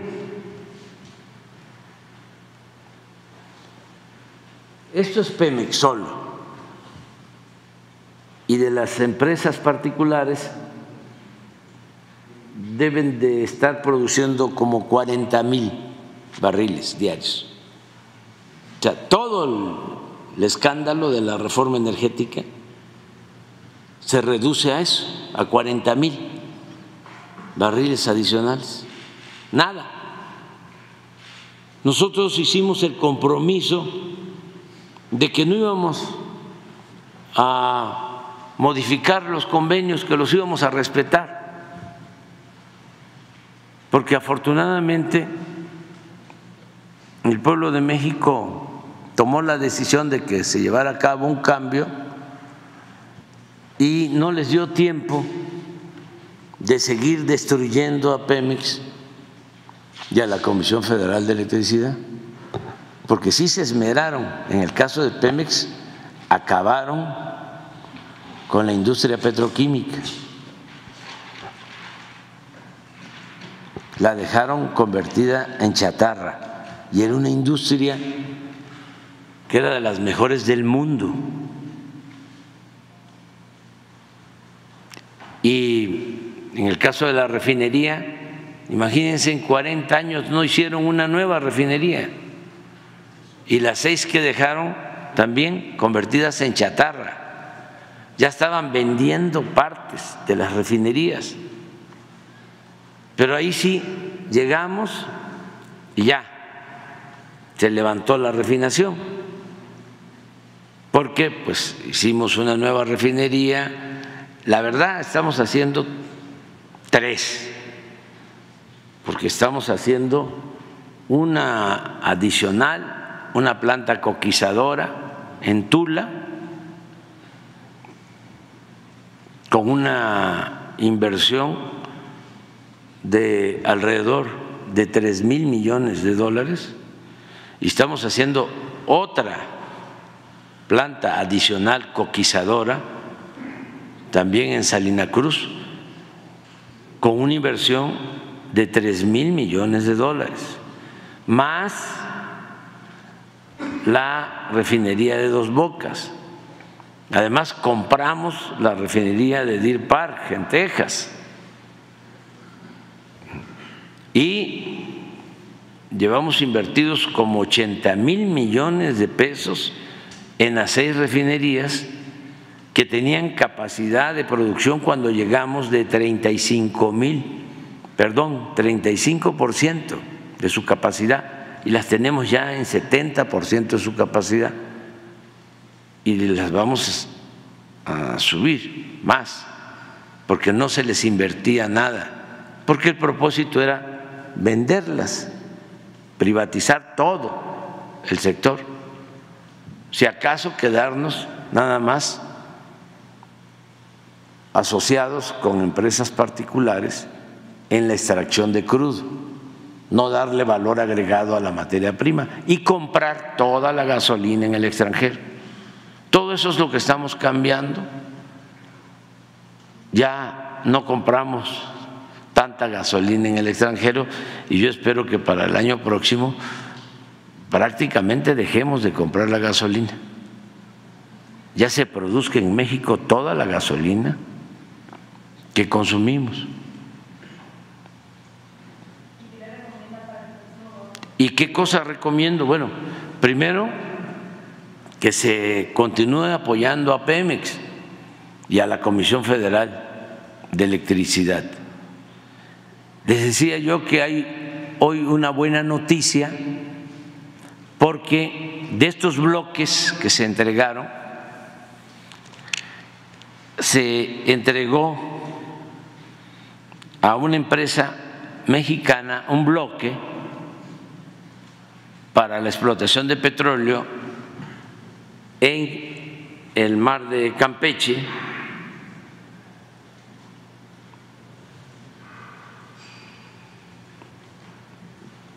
una empresa que se llama Petroval, que era de el finado Alberto Valleres y se asociaron con otras empresas, pero eh, no lograron el desarrollo deseado, ni se invirtió lo suficiente. Ayer me informaron tanto el nuevo presidente de el grupo Val, eh, Alejandro Valleres, como Carlos Slim del grupo Carso, que llegaron a un acuerdo y ya adquiere por 530 millones de dólares eh, Carso, las acciones de Petroval, que es el 50%. ¿Por qué lo celebro? Aun cuando se trata de un contrato de los que se dieron cuando la reforma energética, porque queda en manos de mexicanos. Y estoy seguro que se va a invertir para extraer crudo. Esa es, considero, una buena noticia de que eh, van a invertir en este bloque para extraer petróleo.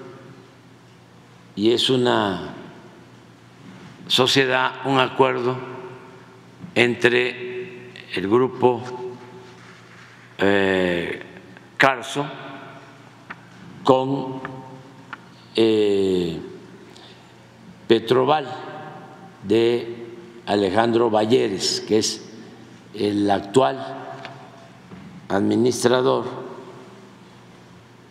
el presidente de los consejos de administración de todo lo que manejaba y era propiedad del finado Alberto Valleres. Entonces me hablaron ayer para informarme y eh, aprovecho para darlo a conocer. Y creo que esto va a ayudar, porque nosotros tenemos resuelto el problema para, eh, si pones otra vez la lámina, para eh, lo que consumimos de petróleo. Pero hacia el futuro, si se añaden 40 mil barriles que ya están produciendo los particulares y que puedan producir 40, 50, 100 mil barriles, 200 mil barriles más, pues este, y si son mexicanos, mejor, para no depender de la compra de petróleo a extranjeros. Llevamos muy buena relación con el gobierno de Estados Unidos, pero no sabemos qué pueda deparar el destino. Y es mejor tener nuestro petróleo, no depender. Miren lo que está sufriendo Europa por la dependencia del gas. Al originarse el conflicto, la guerra entre Rusia y Ucrania. Entonces, es mejor la autosuficiencia energética y lo mismo la autosuficiencia alimentaria. Cuando me dice, ¿qué recomendaría? Eso, autosuficiencia alimentaria, autosuficiencia energética y en el caso particular de los energéticos, producir toda la gasolina y el diésel en nuestro país y fortalecer a Pemex. Y eh, restablecer o volver a levantar, aunque lleve tiempo, la industria petroquímica. Y tener en cuenta, porque hay mucha especulación de que todavía, ese es mi punto de vista, se va a necesitar el petróleo mínimo, va a ser indispensable 25 años hacia adelante. Ya no vamos a estar nosotros, este, pero nuestros hijos, nuestros nietos este, para que se dé la transición. Todos quisiéramos que ya no se use el petróleo, pero va a llevar tiempo. Eh, la llegada de las nuevas tecnologías.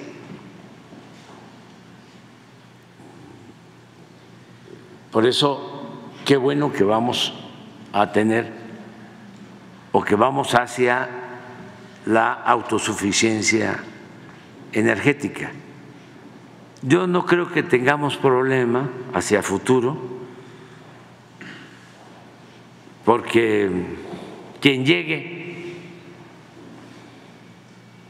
ya no puedo decir nada, pero es como dos y dos son cuatro o dos y dos son 22. Está muy claro todo. O sea, no va a haber problema.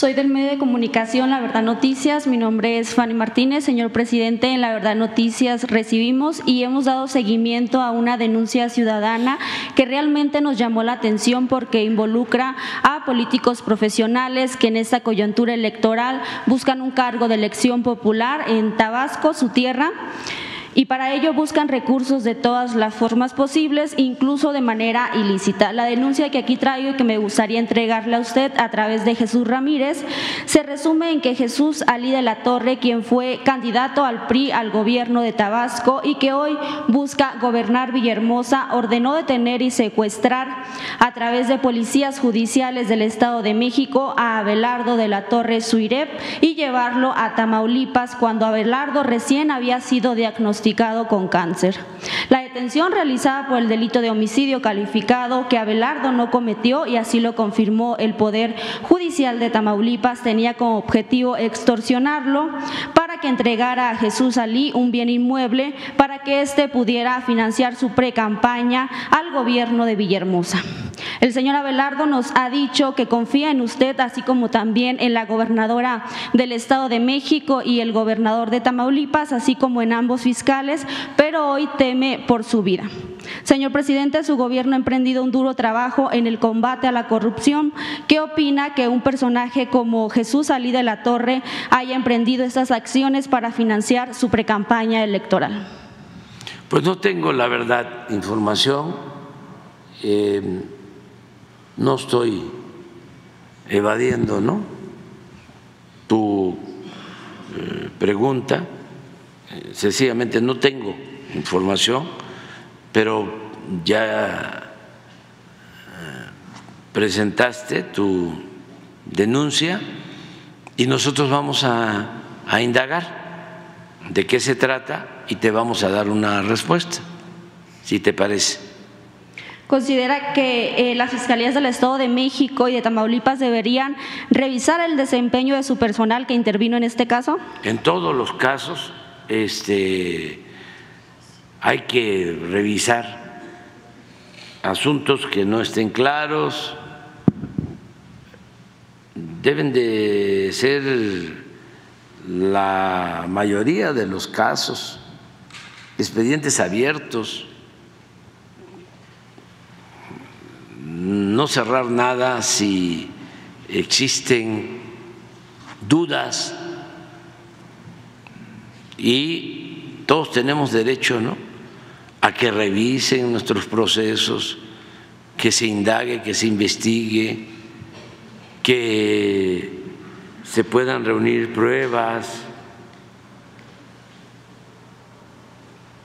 Así sucede en muchos casos de que se cometen injusticias, pasa el tiempo, se aclara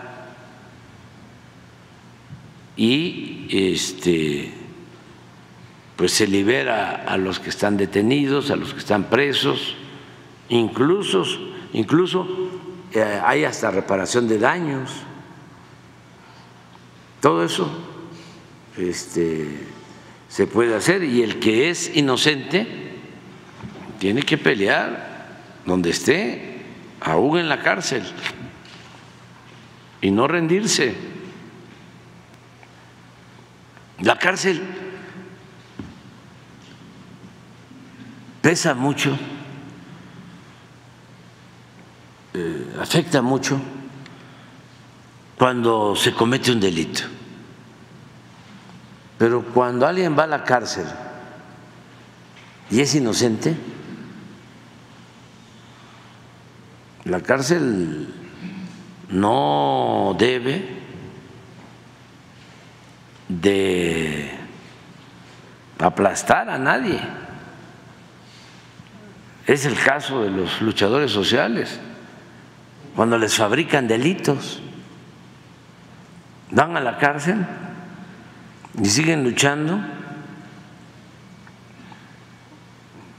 y es muy injusto, mucho, mucho, muy injusto, pero ellos eh, se mantienen con fortaleza moral Recuerdo casos como lo del profesor de la sección 22, Rubén Núñez. Era dirigente de la sección 22. Esto no les va a gustar a los fachos, pero son cosas que no se deben de olvidar había una campaña en contra del magisterio, con la llamada reforma educativa. Y entonces, como había resistencia de los maestros, eh, se desató por todos los medios de comunicación, todos. Eh, una campaña hablando de que los maestros eran flojos, que no daban clases, que eran alborotadores, agitadores, todo, todo eso. Entonces, como seguían firmes, se atrevieron estos conservadores, Claudio X González, este que es el jefe ahora de la oposición, del bloque conservador, con el reforma, con el reforma. No estoy inventando nada, nada más refrescando la memoria. Acusaron al maestro Rubén Núñez de lavado de dinero.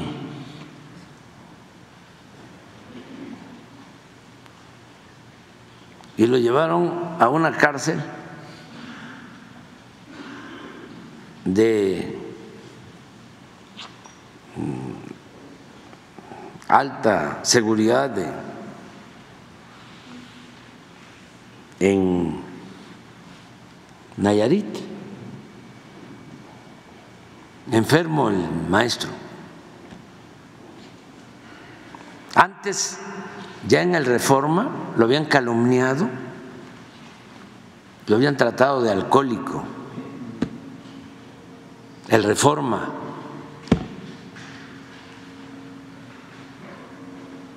Así eran, bueno, siguen siendo, pues.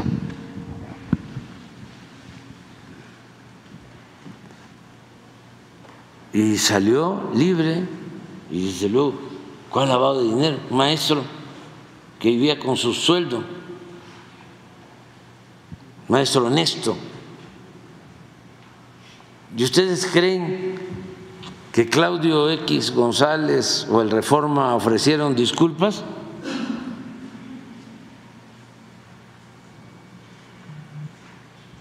¿Qué es lo que decía Claudio X González de los maestros? ¿No tienes ahí el video? Nada más para que vean.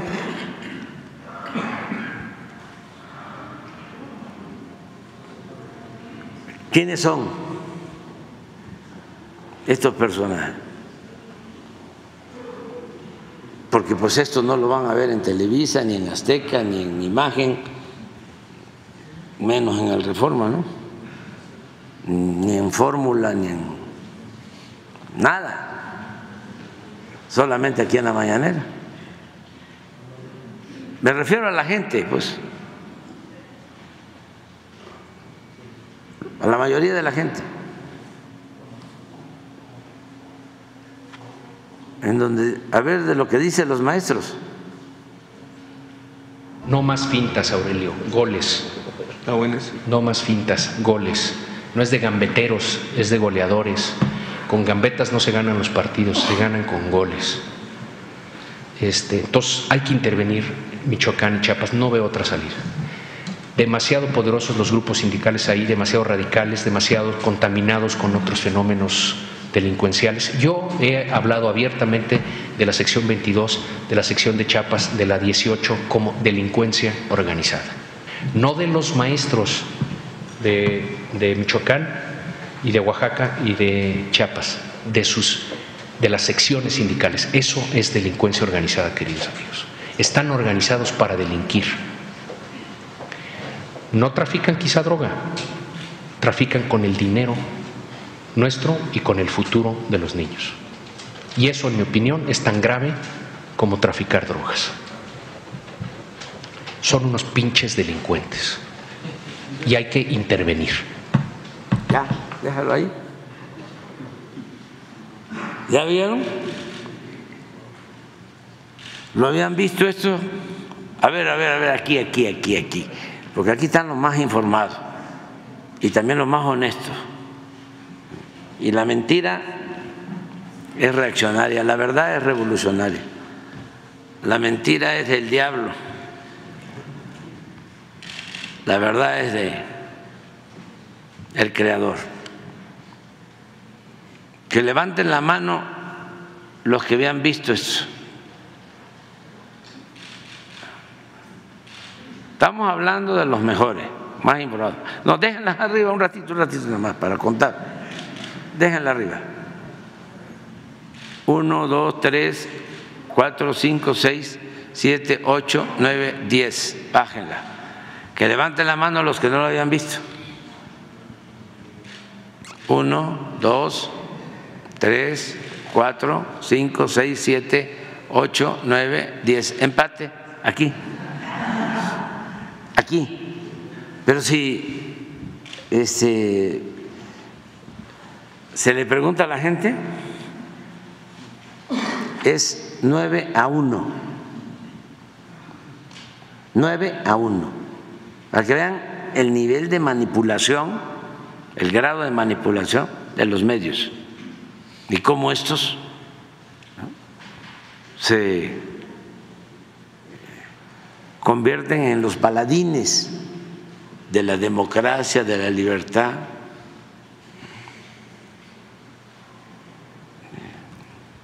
Adelante. Gracias, señor presidente. Y por último, preguntarle sobre esta ley que promulgó el gobernador de Texas que permite a los policías detener a los inmigrantes al cruzar la frontera a los Estados Unidos y que otorga a los jueces locales autoridad para ordenarles que abandonen el país. Se está haciendo ya un eh, trámite en relaciones exteriores para impugnar esta ley y eh, además nosotros vamos a estar siempre en contra de estas medidas.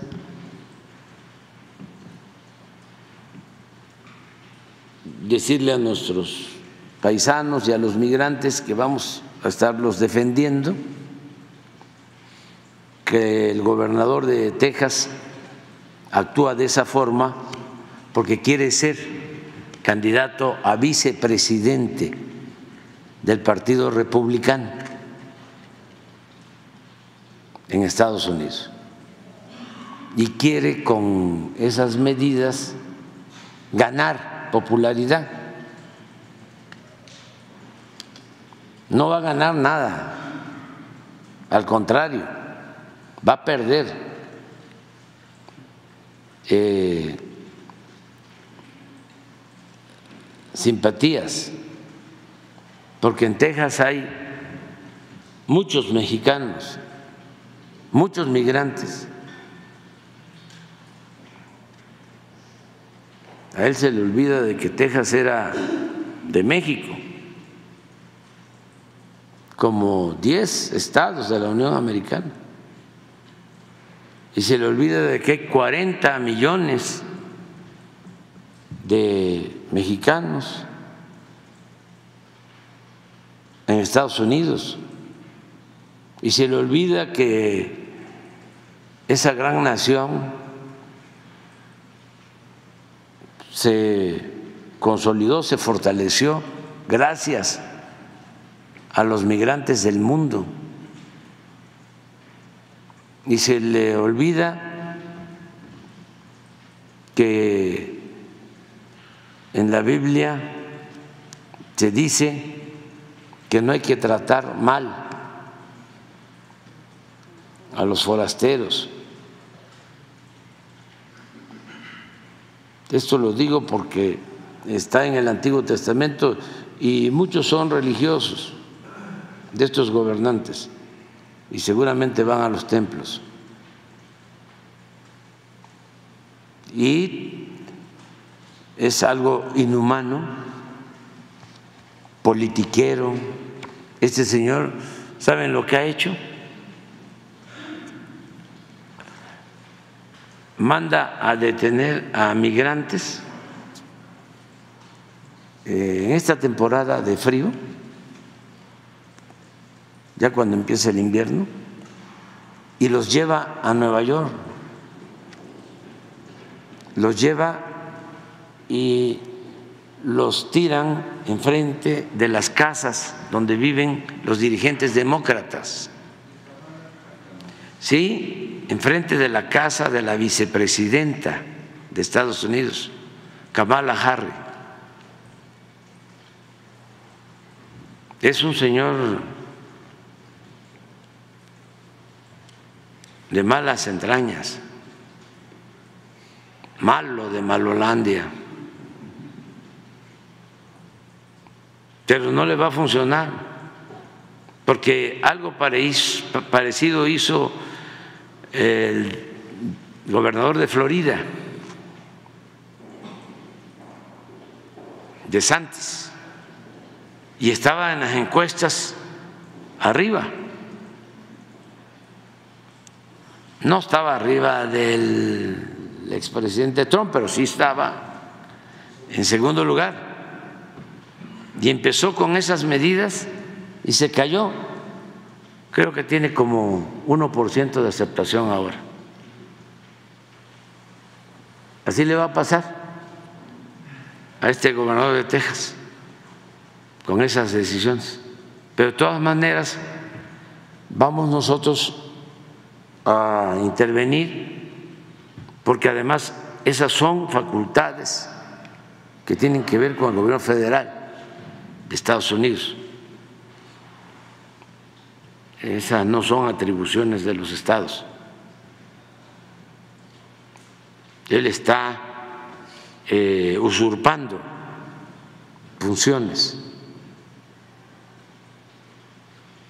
y tiene que ver con política exterior y eso corresponde al Congreso y al presidente de Estados Unidos. Vámonos ya.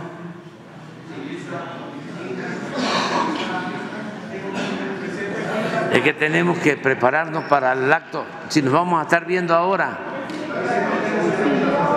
¿Ah? Vamos contigo. Muchas gracias, presidente. Ramón Flores de El Centinela Informan de Humanoid. Señor presidente, la semana pasada durante su gira por el estado de Campeche, usted comentó la importancia que tiene el arroz en el país y los esfuerzos de su gobierno por incrementar la producción de este cereal en el sureste y en el país en general. Usted conoce muy bien el cultivo del arroz, pues eh, se cultiva en su estado natal, eh, Tabasco, en donde se siembra. Ante su declaración, productores de arroz se acercaron a nosotros para comentar el temor que tienen de que sus ingresos y el de sus familias se afecten por las importaciones de arroz pulido, que es el producto terminado, si se elimina el arancel el próximo año, que dejaría al productor tabasqueño y a todos los productores de este cereal del país en competencia desleal. La eliminación de este arancel al arroz pulido afectará a los 120 mil empleos directos y cerca de un millón de empleos indirectos que genera este cereal en el país, además de las familias de los productores que verán sus ingresos en riesgo. Ante este temor que nos comentaron los productores, la pregunta es, presidente, ¿considera usted factible que su gobierno excluya al arroz pulido que llega directamente al mercado del acuerdo de la eliminación de aranceles ante una eventual publicación de ampliación del PASIP el próximo año? Lo vamos a analizar, vamos a analizar. El caso del arroz es especial. Eh, éramos eh, pues en un tiempo autosuficientes en producción de arroz, luego empezamos a, a importar y ahora debemos estar comprando cerca del 80% del arroz que consumimos. Eh, somos eh, deficitarios y se abandonó toda la zona arrocera. A pesar de eso, hay todavía siembra de arroz en Morelos, más que en Tabasco, en Campeche y también en Tabasco y en otros estados.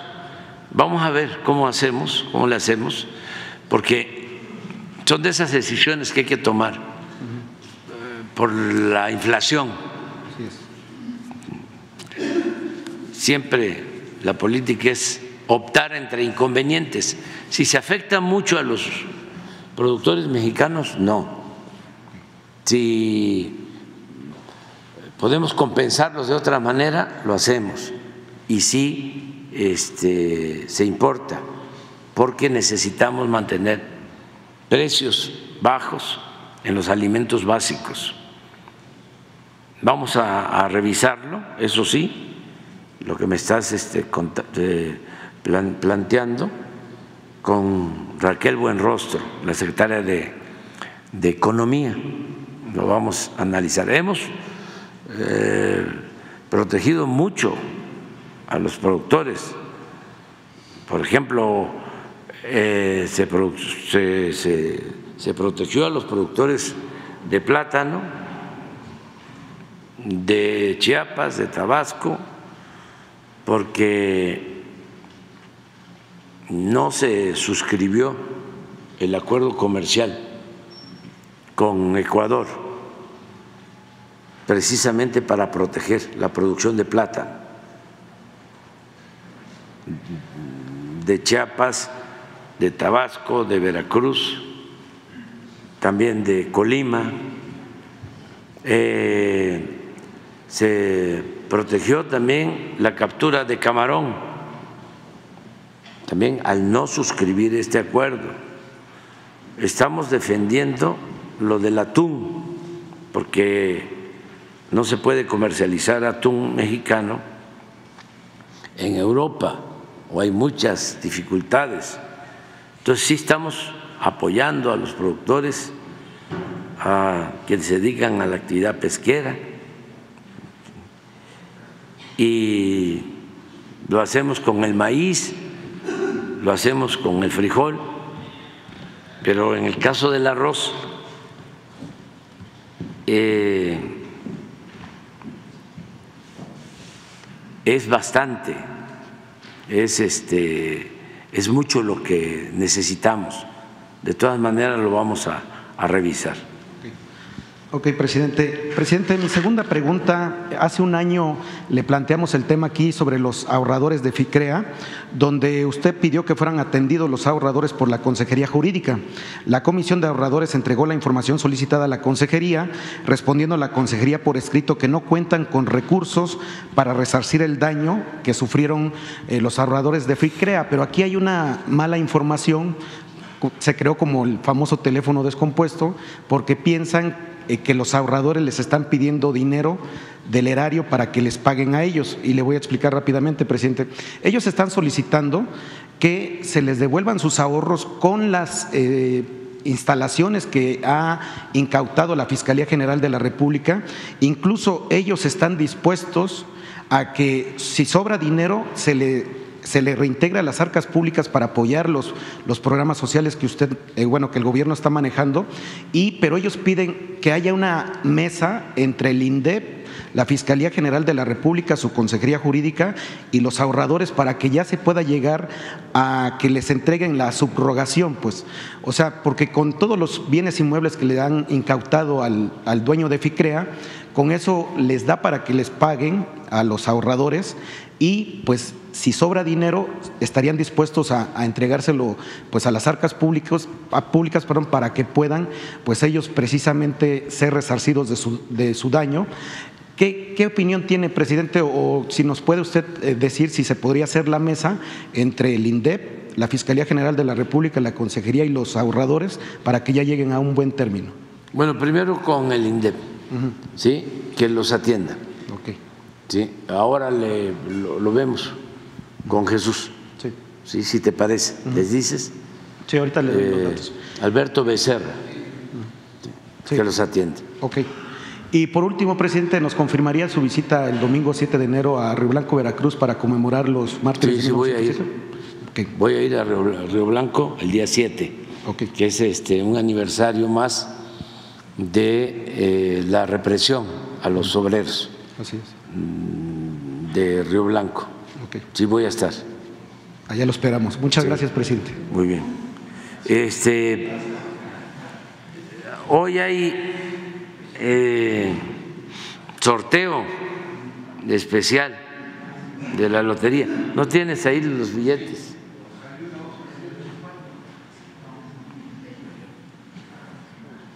Un palco. En el Estadio Azteca.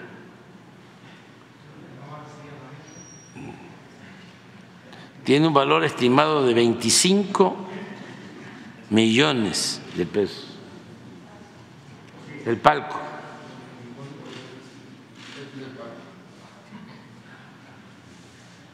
No, pues se van a rayar.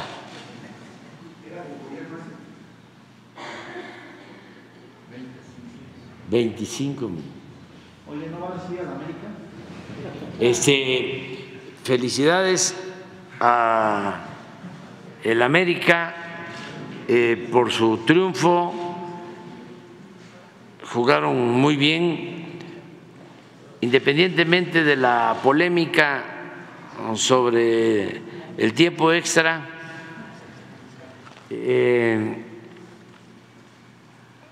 es un hecho que jugaron bien toda la temporada. Eh, quedaron en primer lugar.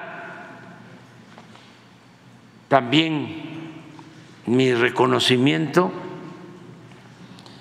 eh, a el equipo de Nuevo León, a los Tigres, jugaron muy bien, muy bien los Tigres, eh, y estuvo la gente muy contenta, mucho, muy contenta. Este, no me dejaban ni dormir. Este, eh, pero sí eh, mucha emoción. Y ahora vienen los eh, deportistas, en un momento ya están aquí, que hicieron una labor de primera en los Panamericanos y también se va a reconocer a los buenos deportistas. Les adelanto que precisamente por las rifas, por todo lo que se decomisa a delincuentes de cuello blanco y de la delincuencia organizada, se tienen fondos y año con año se les apoya a los deportistas. Ahora vamos a entregarles, pues no sé, pero deben de ser más de 500 millones a los deportistas el día de hoy, por todo el esfuerzo que hacen, la disciplina, el ejemplo, muy merecido que representan a nuestro país.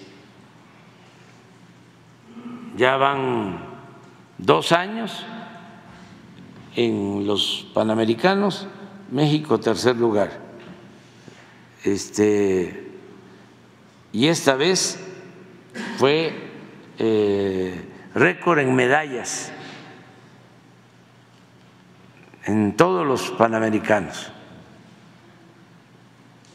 y también te va a hacer un reconocimiento por el tercer lugar, tercer lugar eh, en béisbol mundial. Le ganamos a Estados Unidos, sin embargo nos ganó Japón con uno que es un caballo, como se dice en el béisbol. ¿Saben ustedes? Se llama Otani, el Otani, ponga Otani. Eh, acaba de firmar un contrato con los Dodgers. Lo van a ir a ver allá muchos paisanos a Otani, me mandó una playera firmada. Con Benjamín Gil, que va a estar hoy precisamente, que era el manager del equipo nuestro, que hizo muy buen trabajo, Benjamín Gil.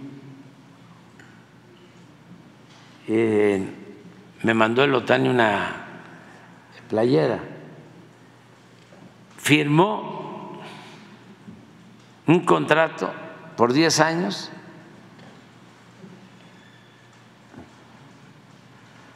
japonés.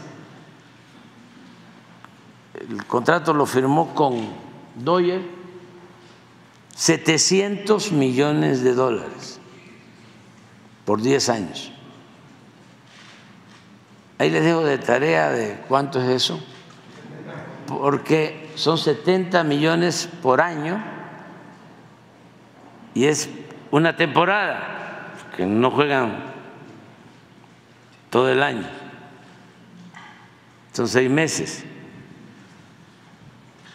70 millones de dólares por temporada, pero sí es algo excepcional,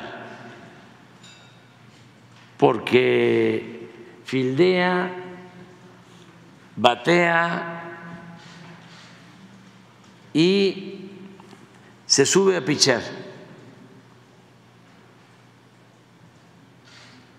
Y es muy difícil sacarle el bate. Es un fenómeno del béisbol y del deporte.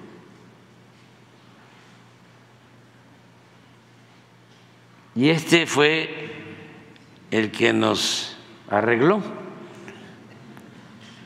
en la final. Creo que fue el que batió un doble. Sí. Este fue el que nos cepilló. Pero hoy vienen los eh, directivos del béisbol y vienen deportistas a las 10 les invitamos porque va a estar muy bien la, la, la ceremonia. Nos vemos mañana. Mañana no, mañana es este Acapulco, pasado mañana.